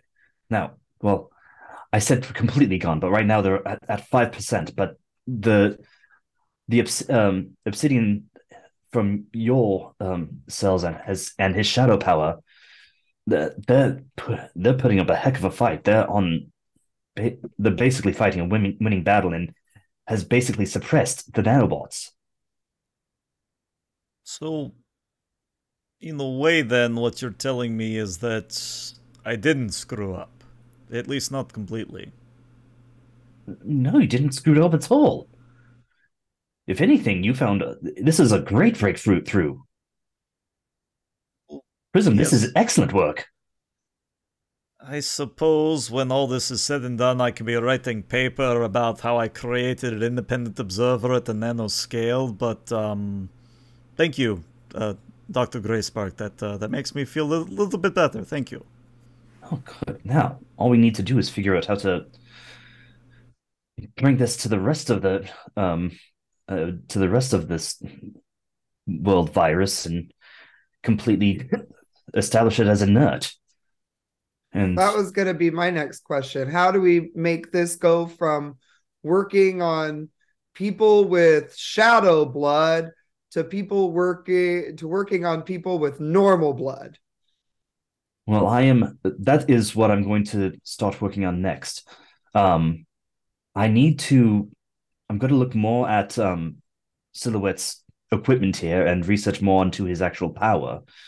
And because, as you recall, uh, it was all his his shadow powers were already fighting um, the nanobots. So maybe it had something to do with his shadow powers fooling the nanobots into thinking nothing was happening and they wouldn't be observed and basically causing them to go into a constant fluctuation of existence and non-existence. I know that doesn't make sense, but um, actually, no, I'm following. Yes, it's it's it's. I have to research more of this particular power.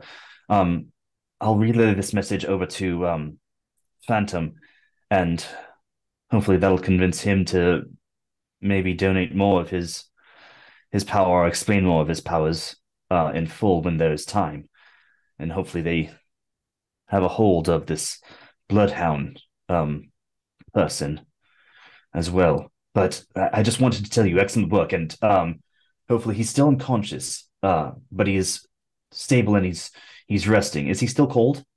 He is still cold. But like, how cold at this point? Like, just still at ninety three, or still at ninety three? And it's, right now his his temperature is still at ninety three, but hopefully that is the only side effect, and it's hopefully and and I do I do expect it to be temporary. Um, but that was a, just a quick update, um, and I just wanted to congratulate you on this that brilliant spark of, of genius. I I never would even thought of that. Um, but uh, there you go. I'll let you more. I'll let you know more once I've um, researched um, Silhouette's power. All right. Good luck to oh, you. Oh, d- doc, yes. before you go, before you go, um, uh, uh, first things first, make sure he's taken well taken care of. Um, but then also after he's um good to go and uh Malin is taking care of him, um, I'm thinking maybe just came to mind. Um, well, ooh, maybe you want to uh, send Phantom a quick message asking if it's normal for y'all for them to get cold. Um, that might be a good idea just something quick for him to respond to while he's working. But then, um, second, after we're done at the hospital, I think it might be a good idea, unless something else smacks us in the face today. Uh, I think it might be a good idea for us to see if um, Phantom and friends need any help, and especially if they're worried about people. I ju- I've got a nice big uh, spacecraft here uh, that that we love to use to transport folks, and uh, yeah, that might be a good idea for us to help and uh, you know scratch their back. We scr- they scratched ours. We scratched theirs. That whole thing. Absolutely, I agree. In fact, hopefully, I, there's one more question I need to have answered, and that's how Silhouette was actually able to get a frequency of uh, the other victims or even the other nanobots um, around the world through his through his powers. Um, I intend to do that within the next couple of minutes. Uh, might take a little bit longer, of course, because I do not know understand this particular uh, person's biology. Um, we'll keep in touch. Great work, everyone. Good luck. Yay! Click. As the Kirby craft lands on top of the Halcyon City Metropolitan Hospital, Dr. Gray Spark, the phone call ends. And there's a portion of your mind that directs you towards Flux's containment. The whole observation window the night prior had been covered with post it notes from Galaxia with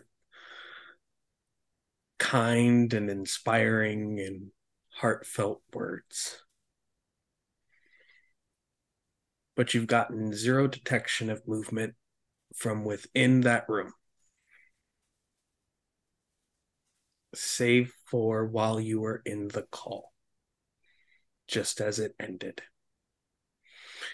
There are no cameras set up inside there as you allow Flux her privacy to these very vulnerable moments of having to extend this energy from her body in order to keep others safe. Even the observation window has a self tinting and shutter ability from inside. I um I asked Malin to make uh well I, I have lovingly called the, the Flux special. Um whatever her favorite uh whatever Flux's favorite uh meal would be and uh I just uh, go up. I turn off. I can. I, I turn off the power again in um, Silhouette's room. Um, but um, if it stays like that for at least another, I'm going to say another one hour. I'm just going to make sure this thing's gone. So one more hour. If uh, it's still at five percent, um, then I'll assume that it's still stable and not doing any damage, and I might and probably try to warm him up from there. Um, but for the time being, I'm gonna just check in on Flux and make sure her is that she's all fully recovered herself. And um yeah. As Malin enters the containment space, Malin alerts you that there is one other person within the containment space. I'm sorry? there's another within the containment space. Flux is still asleep. Yes, but there's one other? Yes.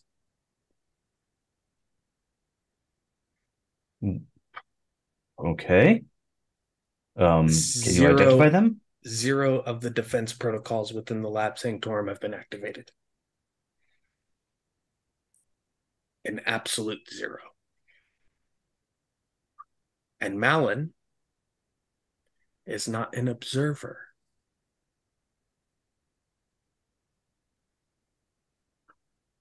I carefully look around. Um, Do you step into the containment space? Because she met you as you were coming back from checking on Silhouette. Okay. Do I notice anything slightly different with Malin? Again, okay. You know her coding, her programming, her being down to the um, most finite detail, and there is no yes. change. She has not identified a threat. She has not identified a a viable how do I word this? The person she observed in the room, one did not pose a threat. Two did not interact with her coding being extension of herself in any way, shape, or form. Do I And- know anyone from my group, besides my group, I guess, that would be able to have that ability to uh, over? No. She was not overridden. And she was not o- overridden. Okay.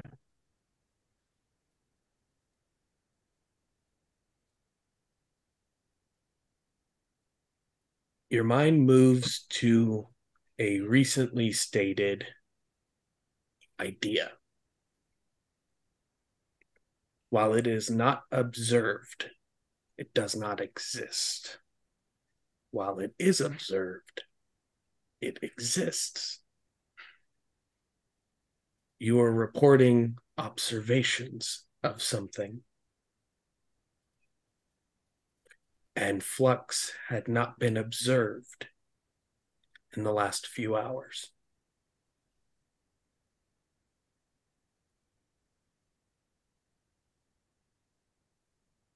I turn on all the like lights in. I turn on all the lights in that room. Do you step in? I do. as all of the lights within the containment room turn on. As you step in, there is a 14 year old boy sitting at the end of the bed space that Flux is resting on.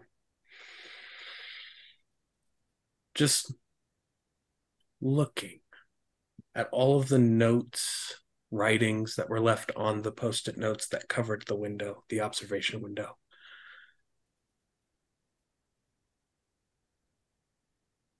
Why wouldn't you want to see? Some people appreciate the privacy. Privacy. But you leave conversation. You leave things to be responded to. Sometimes t- things take a while to respond to. But we're always here to respond when she needs to. She'll be fine. I know she will. She might be better if you weren't in there with her.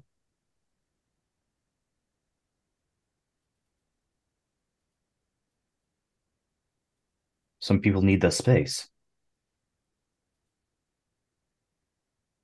The boy looks at you. Blue gray eyes. Very soft skin. A 14 year old boy. Short cropped brown hair. A gray uniform. No other really identifiable markings.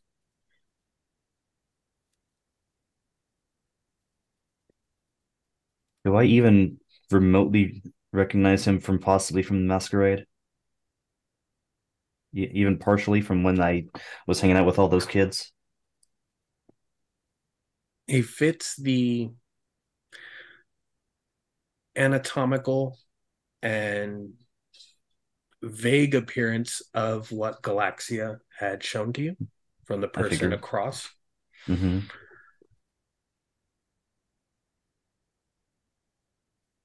Why become a hero?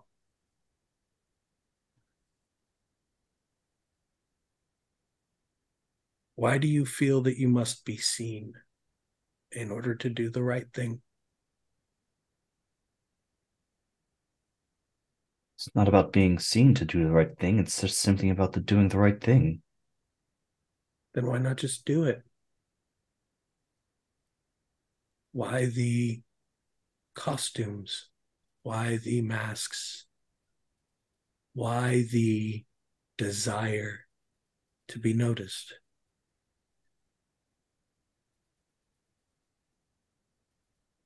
With some, it's easier to play a character. For some, they feel more free.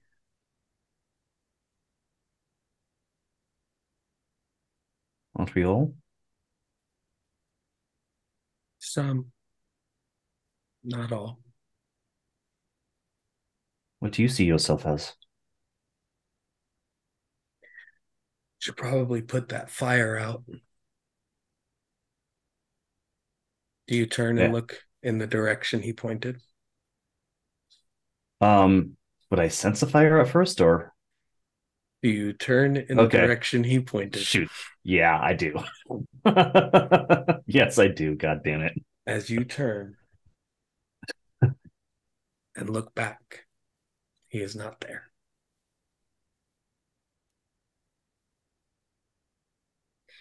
I suppose a magician. You hear the chamber signal that there is still more than 35% of the unsiphoned energy within the room, that it is not safe for you, Dr. Gray Spark, to be within. Last time you read the power readings on the room, they were at 38%, and that was last night. Time has been stopped, unobserved in this chamber since the windows, the observation window was covered with the post it notes.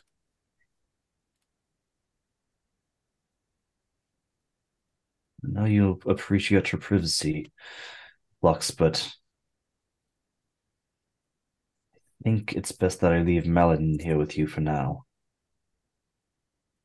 Have some eyes in this room. Flux And is I- still asleep. The room notified you of that. yeah, I would fully be aware that if even if Flux was asleep, I'd still say that. Um, and um, I will before I exit the room, I'll just quit do a quick uh, uh thing with Malin, make sure um just protect Flux, and um keep your eyes uh keep, keep your eyes open too, and for the the recording device even if it's if, if it doesn't uh, pose as a threat i want to know anything that comes that comes in and out of here of this particular room thank you my Then we move to Galaxia and Prism. Quick question before we do. Was there a fire? Was there a fire? Yes, there was. There was a small fire. Phantom didn't grab his mask before he left, and it was set on one of the work tables where an open burner was warm from heating a kettle and set the mask on fire. A coincidence, maybe, possibly. It's hard to tell in this moment. last thing on his mind Look, I mean, of course of course this- he's putting that fire out but yeah with this kid running around, I'm not accusing anybody of shit. Prism and Galaxia. You make your way into Halcyon City Metropolitan Hospital from the top floor, presenting yourselves as the newly inducted heroes of the masquerade. Given access within, explaining that you are here in order to check on Agent Gemini, Sebastian Santana, affectionately known as Two Dude. Get in.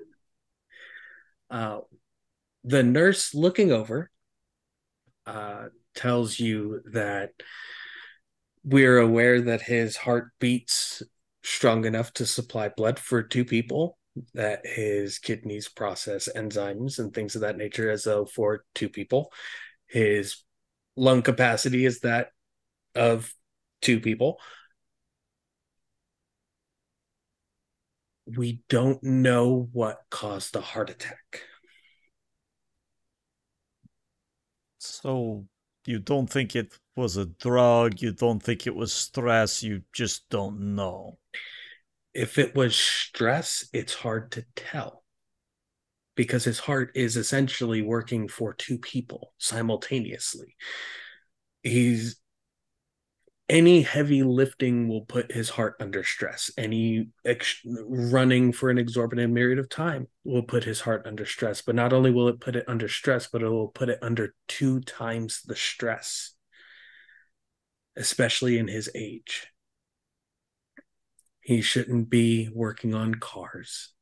He should be enjoying sitting in the couch, watching TV, entertaining his grandchildren and great grandchildren.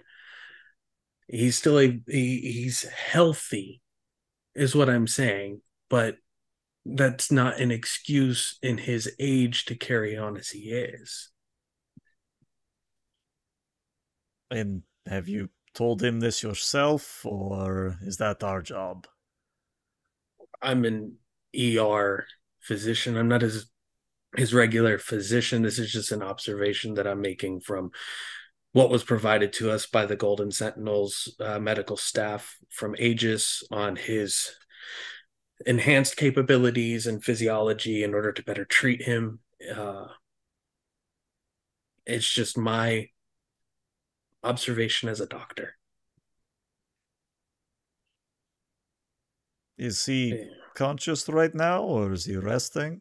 He's he's conscious now.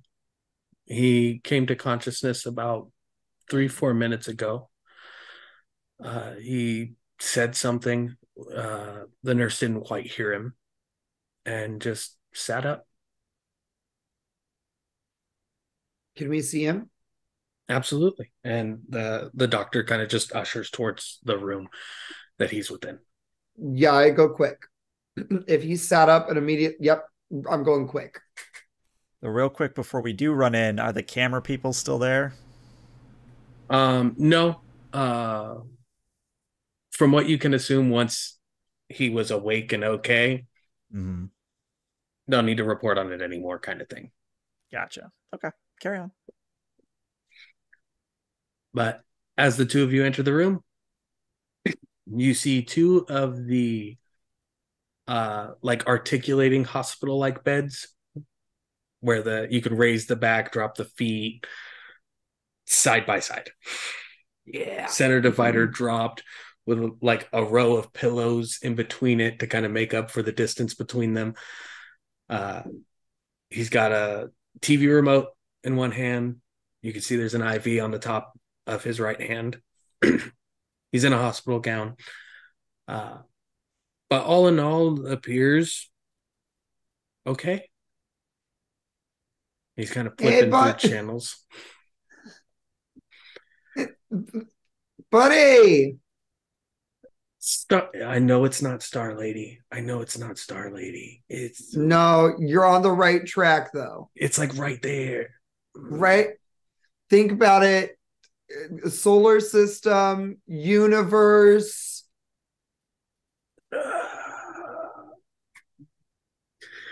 Galaxiana. It's so close, Galaxia. It's so good to see. Uh, I knew it was there. I knew it was there. kind of smiles. You can see there's a bit of a flushing to it. His face um, looks over towards Prism and the hero of the night last night. We are supposed to have a Coke and a story, but I guess we can have any like motions to a water cup next to him. I would uh I would very much like to hear a story, but uh, are you okay? Do you feel all right? Yeah, I was uh you know, I was taking the front end off of, you know, an old Buick Skylark and next thing I knew, I was in an ambulance. Hmm. And then I think Prism is going to look at Galaxia, and it's one of those looks that says, Do we repeat what we were told when we came in here? No? Okay. Well, uh, you know, maybe, uh, maybe it was just some bit of weather. Maybe you were pushing yourself a little hard today. Who knows? You know, doctors, they, they, they never know these things. I might have slipped and fell back yeah, I could have, you know, really dinged myself in the head with the bumper. You know, it could have been a it could have been a lot of things. Exactly. Exactly. I mean, yeah, dude. I mean, how long have you been doing this? Mechanic work. Uh well let's see. When did the Volkswagen come over here? It's like 44? Almost 80 years now. Yeah. It's just I mean- everything fits together. Everything's supposed to they everything works together, everything lines up together. It's like how people should be with other people. You, you don't have to know everything about somebody to know that you should just be a good person to them. You just do your thing. You be the person that you are. And that like gears do that, you know, bolts do that. They just fit into place. Everybody just fits together. It'd be great if everybody was more like cars.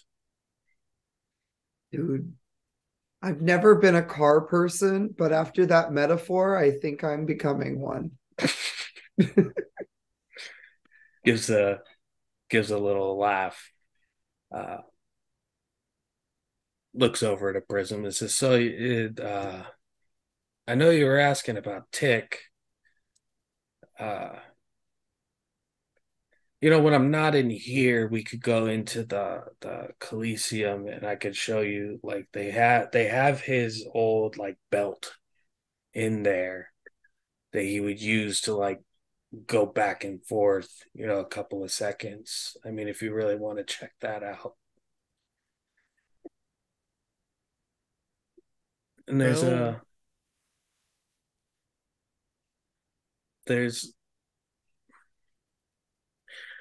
roll to pierce the mask, both of you. Actually, was gonna be my question. As I was curious what he was. uh Oh yeah, still guilty. Yup. no, no. No, god, yeah, not you have the two least mundane motherfuckers here right now. Um no. we do have a plus 2 though. So Mhm. I am going to use uh, the plus 2. So what ha- happened was I've been keeping up with chat. We got a plus 2 Then Then a a minus two, two, and then and another, then another plus, plus two. 2. I'm gonna hold have, on to uh, that we have minus my- two. we have my friends Claritha and Crescent battling it out right now. Um I'm gonna hold So- on to that minus two, so you're free to use both of those plus twos if necessary. Regardless, Ooh, okay. Um, let's see. Uh, we're gonna. I'm just gonna get me to a seven. Okay, So, yeah. Prism. That's a three. No. But hey, I get to mark No. potential, so you know. Absolutely mark Yeah. potential. Um, Galaxia. Well, first we'll start with Prism, actually. Okay. Um, this is a hero. Not even in the super sense, not in the mask wearing, cape flittering, protect the city. This is a hero. This is somebody that you this is somebody that children should learn from. This is someone adults should listen to. This is someone the world should appreciate, is still here. And that keeps you from really noticing because you're in that thought is going through your mind as he's explaining these things what you wouldn't have given to have somebody like this a part of your life before the accident. Galaxia, as he appears to be thinking back to a memory, uh, reliving a moment. It's almost like there's a pause. Not out of fear, not out of anger, not out of like being lost in a thought, but like something's missing from that thought. You have one question you can ask.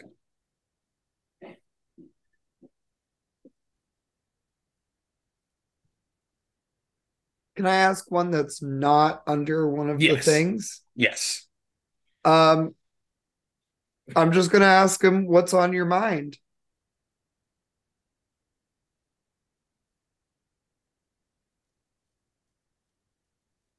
There's somebody missing, but I don't know who. And I feel like they're important, but I would remember somebody that's important. Like I have 32 grandchildren. I have 19 great grandchildren. I have eight children. I've been married four times. I can tell you every single one of their names. I could tell you all of their birthdays. But there's somebody. There's somebody missing. And I don't know who. Hold on, hold on, one one, one moment. Uh, and Prism would, again, using their transmutable body, will try to approximate the uh, interloper, as I'm going to call him.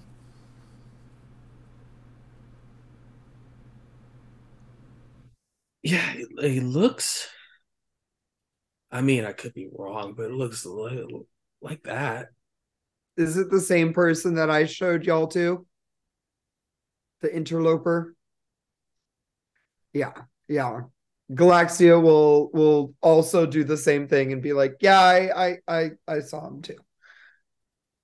Yeah, but like, I mean, no offense to either one of you, but like, were either of you alive in 1964? Well, depending how you feel about Mm. quantum theory, maybe, but uh, At least you have the conscious understanding of being. I think I said that right. Not on Earth. Um but also we're dealing with a lot of funky time stuff. Remember we're we were dealing with the Tikataka guy? Yeah, but Tick's been dead for years. I I was his pallbearer. Yeah, but uh but that's the thing. We're not necessarily dealing with Tick, but but you said somebody's missing and it's this person. Who is this? I don't know. But you recognize them, right? Kind of. Were they I mean, it's it's hard. It's like it's like when you see somebody in a dream and you've never met them before, but you they're exactly how they looked in your dream, and you feel like you've known them your whole life or their whole life.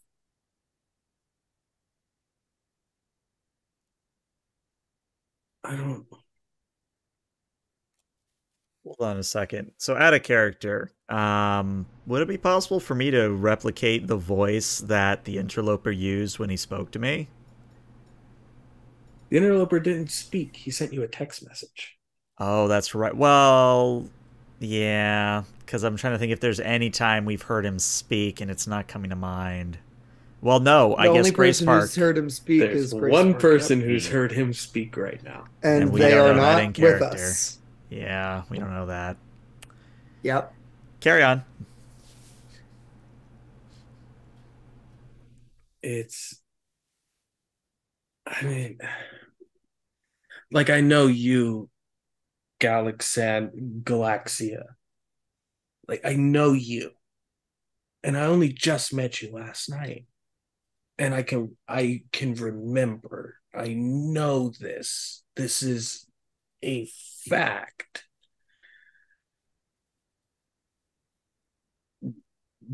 The hero dragon right here, Prism. He helped me last night. We saved those people. I know this.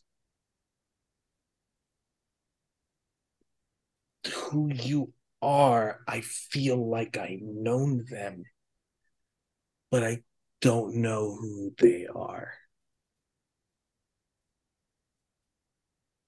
Well, whoever they are, they keep showing up at the rather fortunate timing. Which is actually kind of ironic if you think about the current events. But anyway. Uh, Well- On that note, did you feel them at all when you had this accident?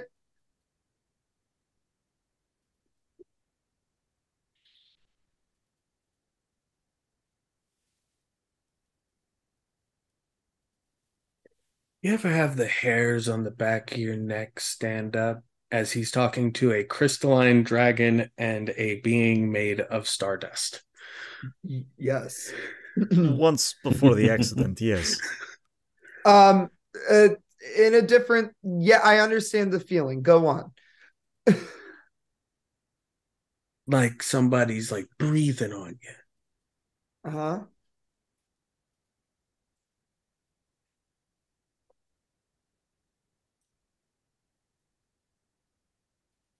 How well versed with hospital equipment is Galaxia? Not. Prism, there is the beginnings of spikes on the echocardiogram. Oh no. Oh no, no. no, Not no, ex- no. not extremely rapid, He's not throwing Well- tombstones, right?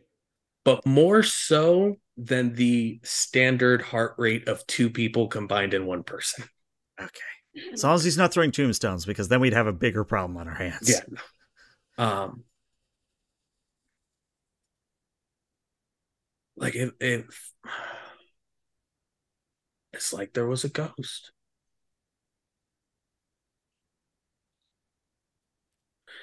But I can't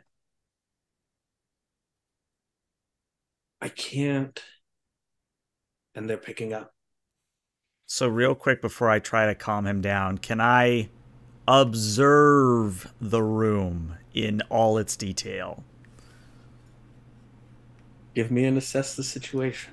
And I'm still guilty. This is going to go lovely.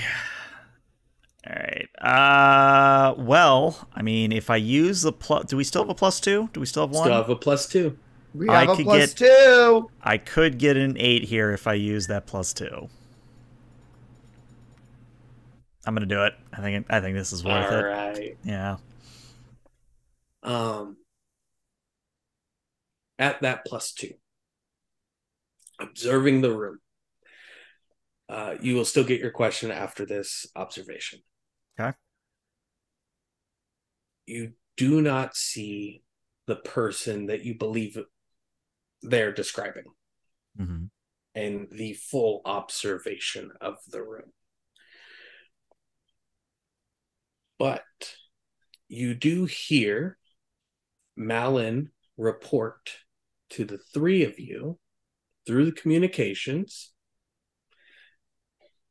that there was someone in Flux's containment space. Dr. Gray Spark, this coincides with Malin alerting you of this information. Okay. This would be when you then stepped into the containment room and met this young boy. Prism, what question do you have? Would it be possible through Malin to hear what is said in that room? Yes.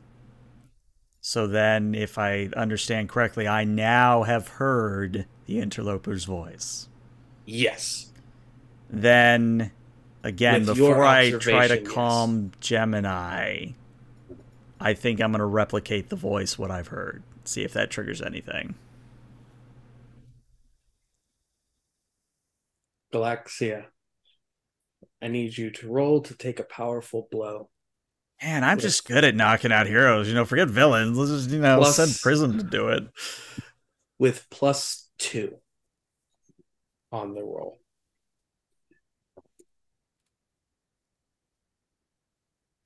Because Agent Gemini is afraid. And he feels hopeless at the moment. That is an eight. That is an eight. Okay. Prism, as you begin replicating the now referred to interloper's voice to Agent Gemini.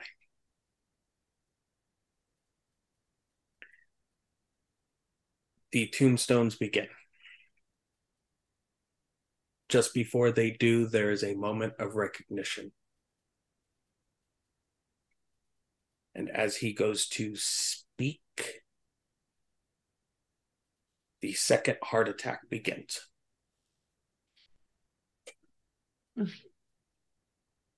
Cutting him off.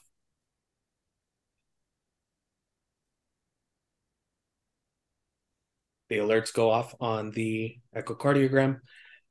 Uh, the doctor who you had spoken to outside comes in with a crash cart with three other people coming in to repace his heart as they ask the two of you to step out.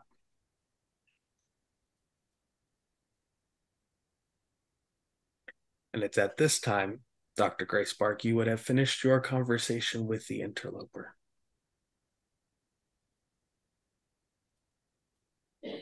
um, after I um, put uh, put out the actual fire. Um, fine, Novastar. He's fine. Uh, I. I'm like, no, please, no, He's fine. Shut up. no. we can't have killed two, dude. Um, as soon as I put out the fire, I step out and um, leaving uh, um, Malin in there. Um, probably with no no doubt as to um that the rest of the group kind of heard that, but I do kind of try to contact them and immediately just fill them out, uh, fill them in on what just happened, just to make sure. Um, if anyone, if Galaxy or even um Prism are able to respond um i give them a, a play-by-play of exactly what happened um at least from my view um and uh i decide to kind of just turn on all the security cameras and just try to look around and see if he's anywhere else i'm guessing i'm gonna i'm guessing he's not but he's uh but i, I want to just check anyway i'm actually gonna check Actually, no, I'm gonna check near um uh silhouette now. I said I was gonna try and shut keep that shut down for an hour, but after Yep. being near flux, I gotta I gotta check my other patient. Give me and assess the situation.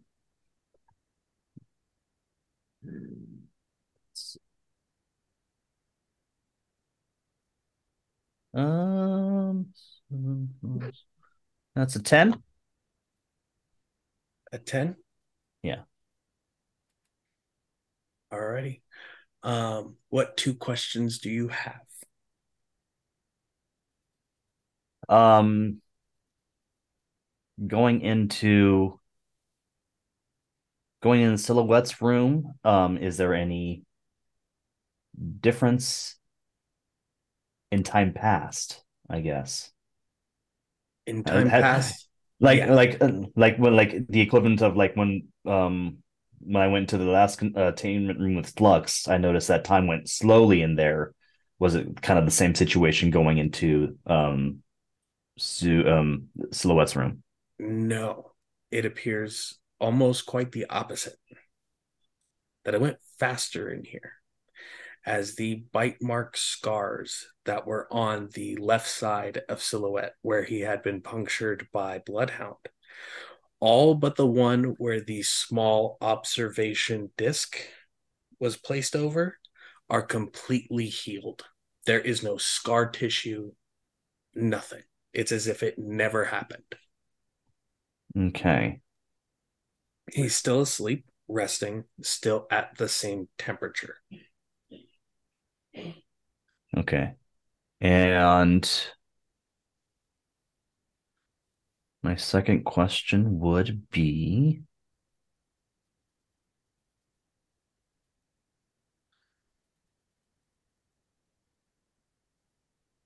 Has he aged? No. Okay. There is a beginning portion that you are attributing now that you believe the the crystallization of the shadowed cells the combination of prism's enhanced capabilities has created some kind of regenerative property within silhouette that you believe might be a further enhancement on Prism's own capability. He might now have some kind of regenerative capability for himself.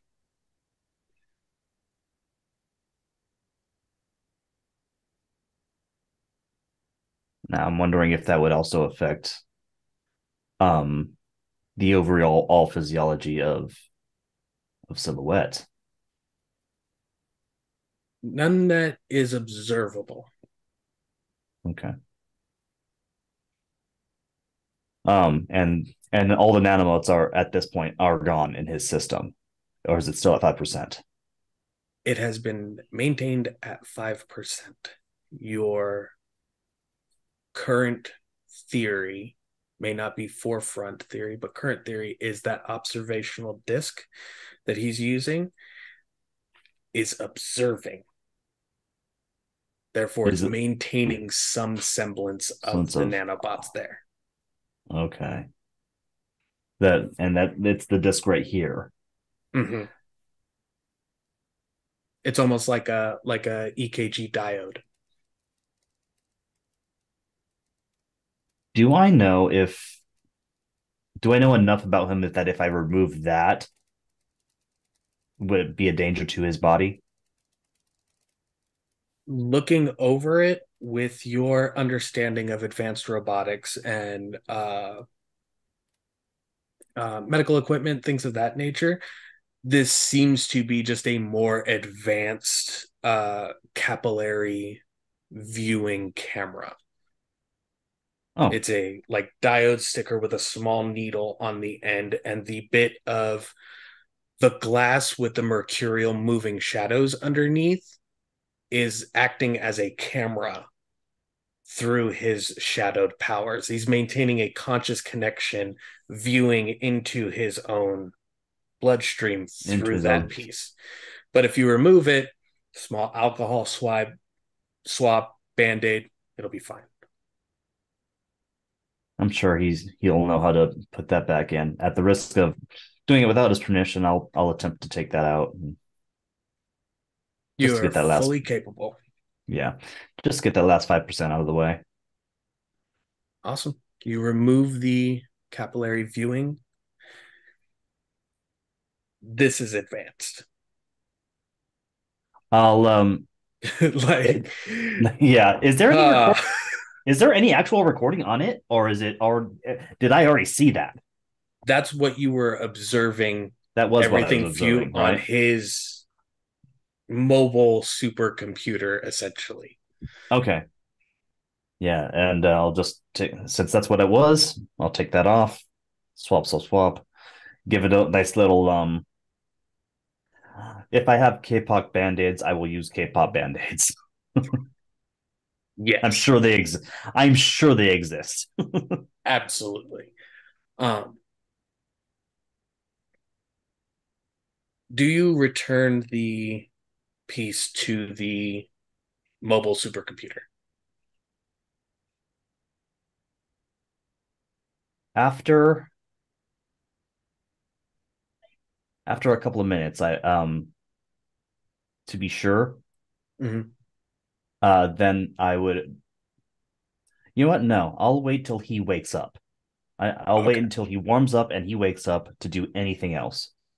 Okay.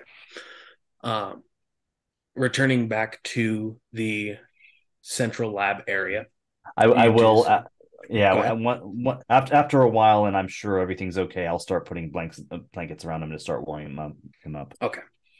Um, as you return back to the observation area that you guys have set up, um, you do see now there's no video feed on the screen, but you do see a collection of data, like the observations that were made while this capillary camera was on him mm-hmm. is there and segmented all the way down. And just as your initial theory of the maintained 5% was as long as this thing had been observed, they were all there. And because they were there and weren't seen as a like a bacterial infection or a virus or anything. They just suddenly existed in there. The body assumed that this is a natural thing that we produce that is supposed to be here. And hence why the shadowed cells were protecting it. It didn't view it as a threat. It didn't view it Ah. as a as a infection. It believed that it has and always will be here Therefore, it is something we made and something we must protect. Got you. Okay. And it's as the observation became less and less, and the introduction of the new crystalline regenerative genes from Prism, those numbers began to dwindle. Okay. Um, with that, um, I'm gonna just put more research into if I have any kind of vial of of his his blood outside of his body, Yes, I'll you just- do. kind of observe all of that, do more research with that and prisms. See if I can find a way to expand upon it and safely turn it into a vaccine. The vial you have of Silhouette's blood prior to the interaction with Prism, there are no nanobots within. hmm This is prior to. Yes. Um. They are gone. Oh, the ones that were in there already are gone because they were not observed. And since they no longer exist in the place they were supposed to be, they no longer exist at all. Okay. So would I need those nanobots to turn this into some kind of vac- vaccine? No. So I, I think Give me a unleash your power.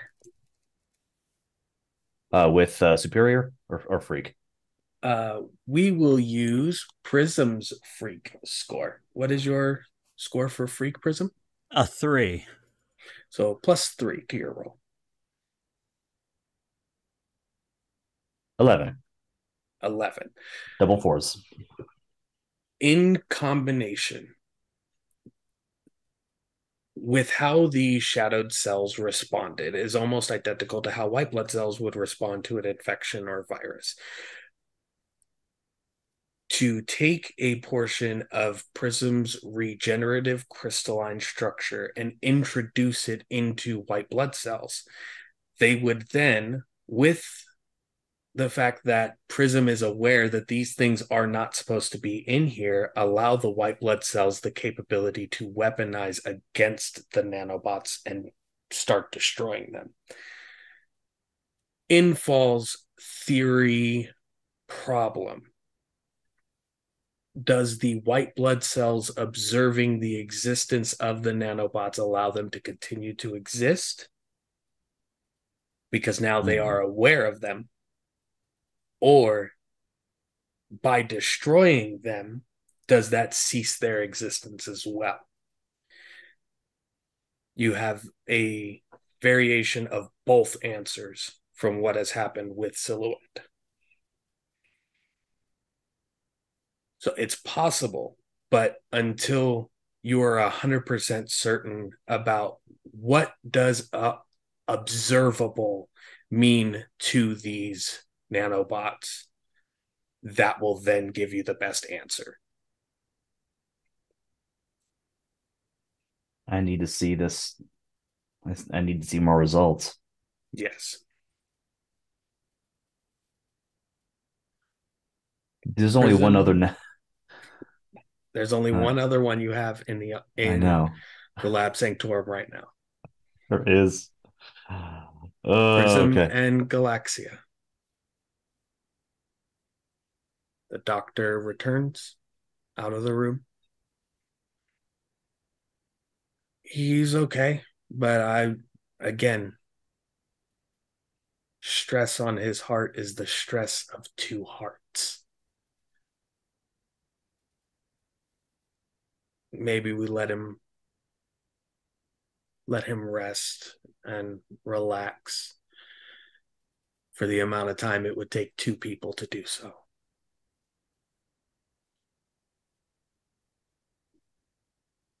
Yes, I. uh we're- sorry for uh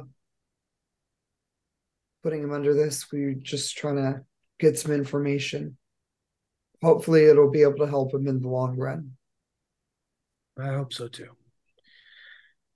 But he needs rest. I'm not certain on a dosage of medication to give somebody whose body works like two people. So I will be consulting with Aegis physicians here in the near future. If you have any other questions about what may be going on with him, I would recommend speaking with them. Well, uh, thank you for all of your help and um, We have a helicopter take good care of our big in. boy. We have a helicopter coming in as well. If you can have the Oh, ship. Yep. Yep. Yep. Yep. Yep. Yep. Uh, come on, let's go, Prism. We uh, we need to we need to move the car. And I think deliberately Prism has been very, very quiet. Like you almost have to grab his hand and pull him along. Like he's still kind of frozen in shock that it happened. Yeah, I'll definitely go ahead and do that. Just kind of usher him out, lead him out, a hand on the back. as you guys get to the roof, get to the Kirby craft, and begin taking off. The helicopter going to land at the top of Halcyon City Metropolitan Hospital zooms in as the panel moves towards the side of the helicopter as it lands. Doors swing open we see Sparta and Sentinel inside the helicopter holding Phantom and carrying him into the hospital. A massive bite mark over his chest and shoulder area.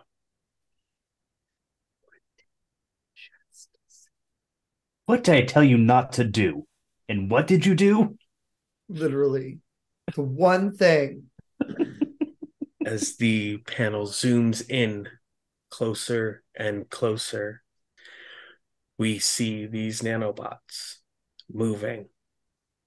But we also see the shadowed cells within Phantom's body starting to become obsidian cells and fighting back against the nanobots. As they're shadows. still- they're the- And a small gray box at the very bottom says curious very curious as we close the back cover of issue 3 second star to the right of Masquerade of the Mighty, a masks a new generation live play here on Cybernation Uncensored. We still don't know what the star reference is. God damn it. Fuck. Do you want to know? Do you really want to know? I'll give you the chance right now. What kid is from somewhere else. there's a, a boy who was shown at 14 years old in 1940 who is still appears the exact same way right now. Yeah. Spectre and Silhouette are the same person, but had their shadow taken away from them that became the identical twin of them. Peter Pan is 14 so. years old I thought so. and has his shadow severed from him. It's he's a fan.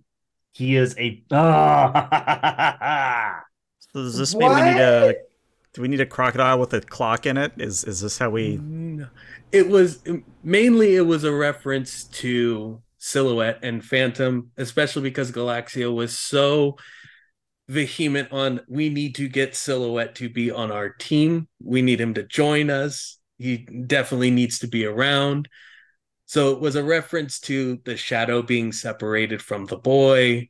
One is mischievous, one isn't, kind of thing. But it started tying into other aspects of this as well.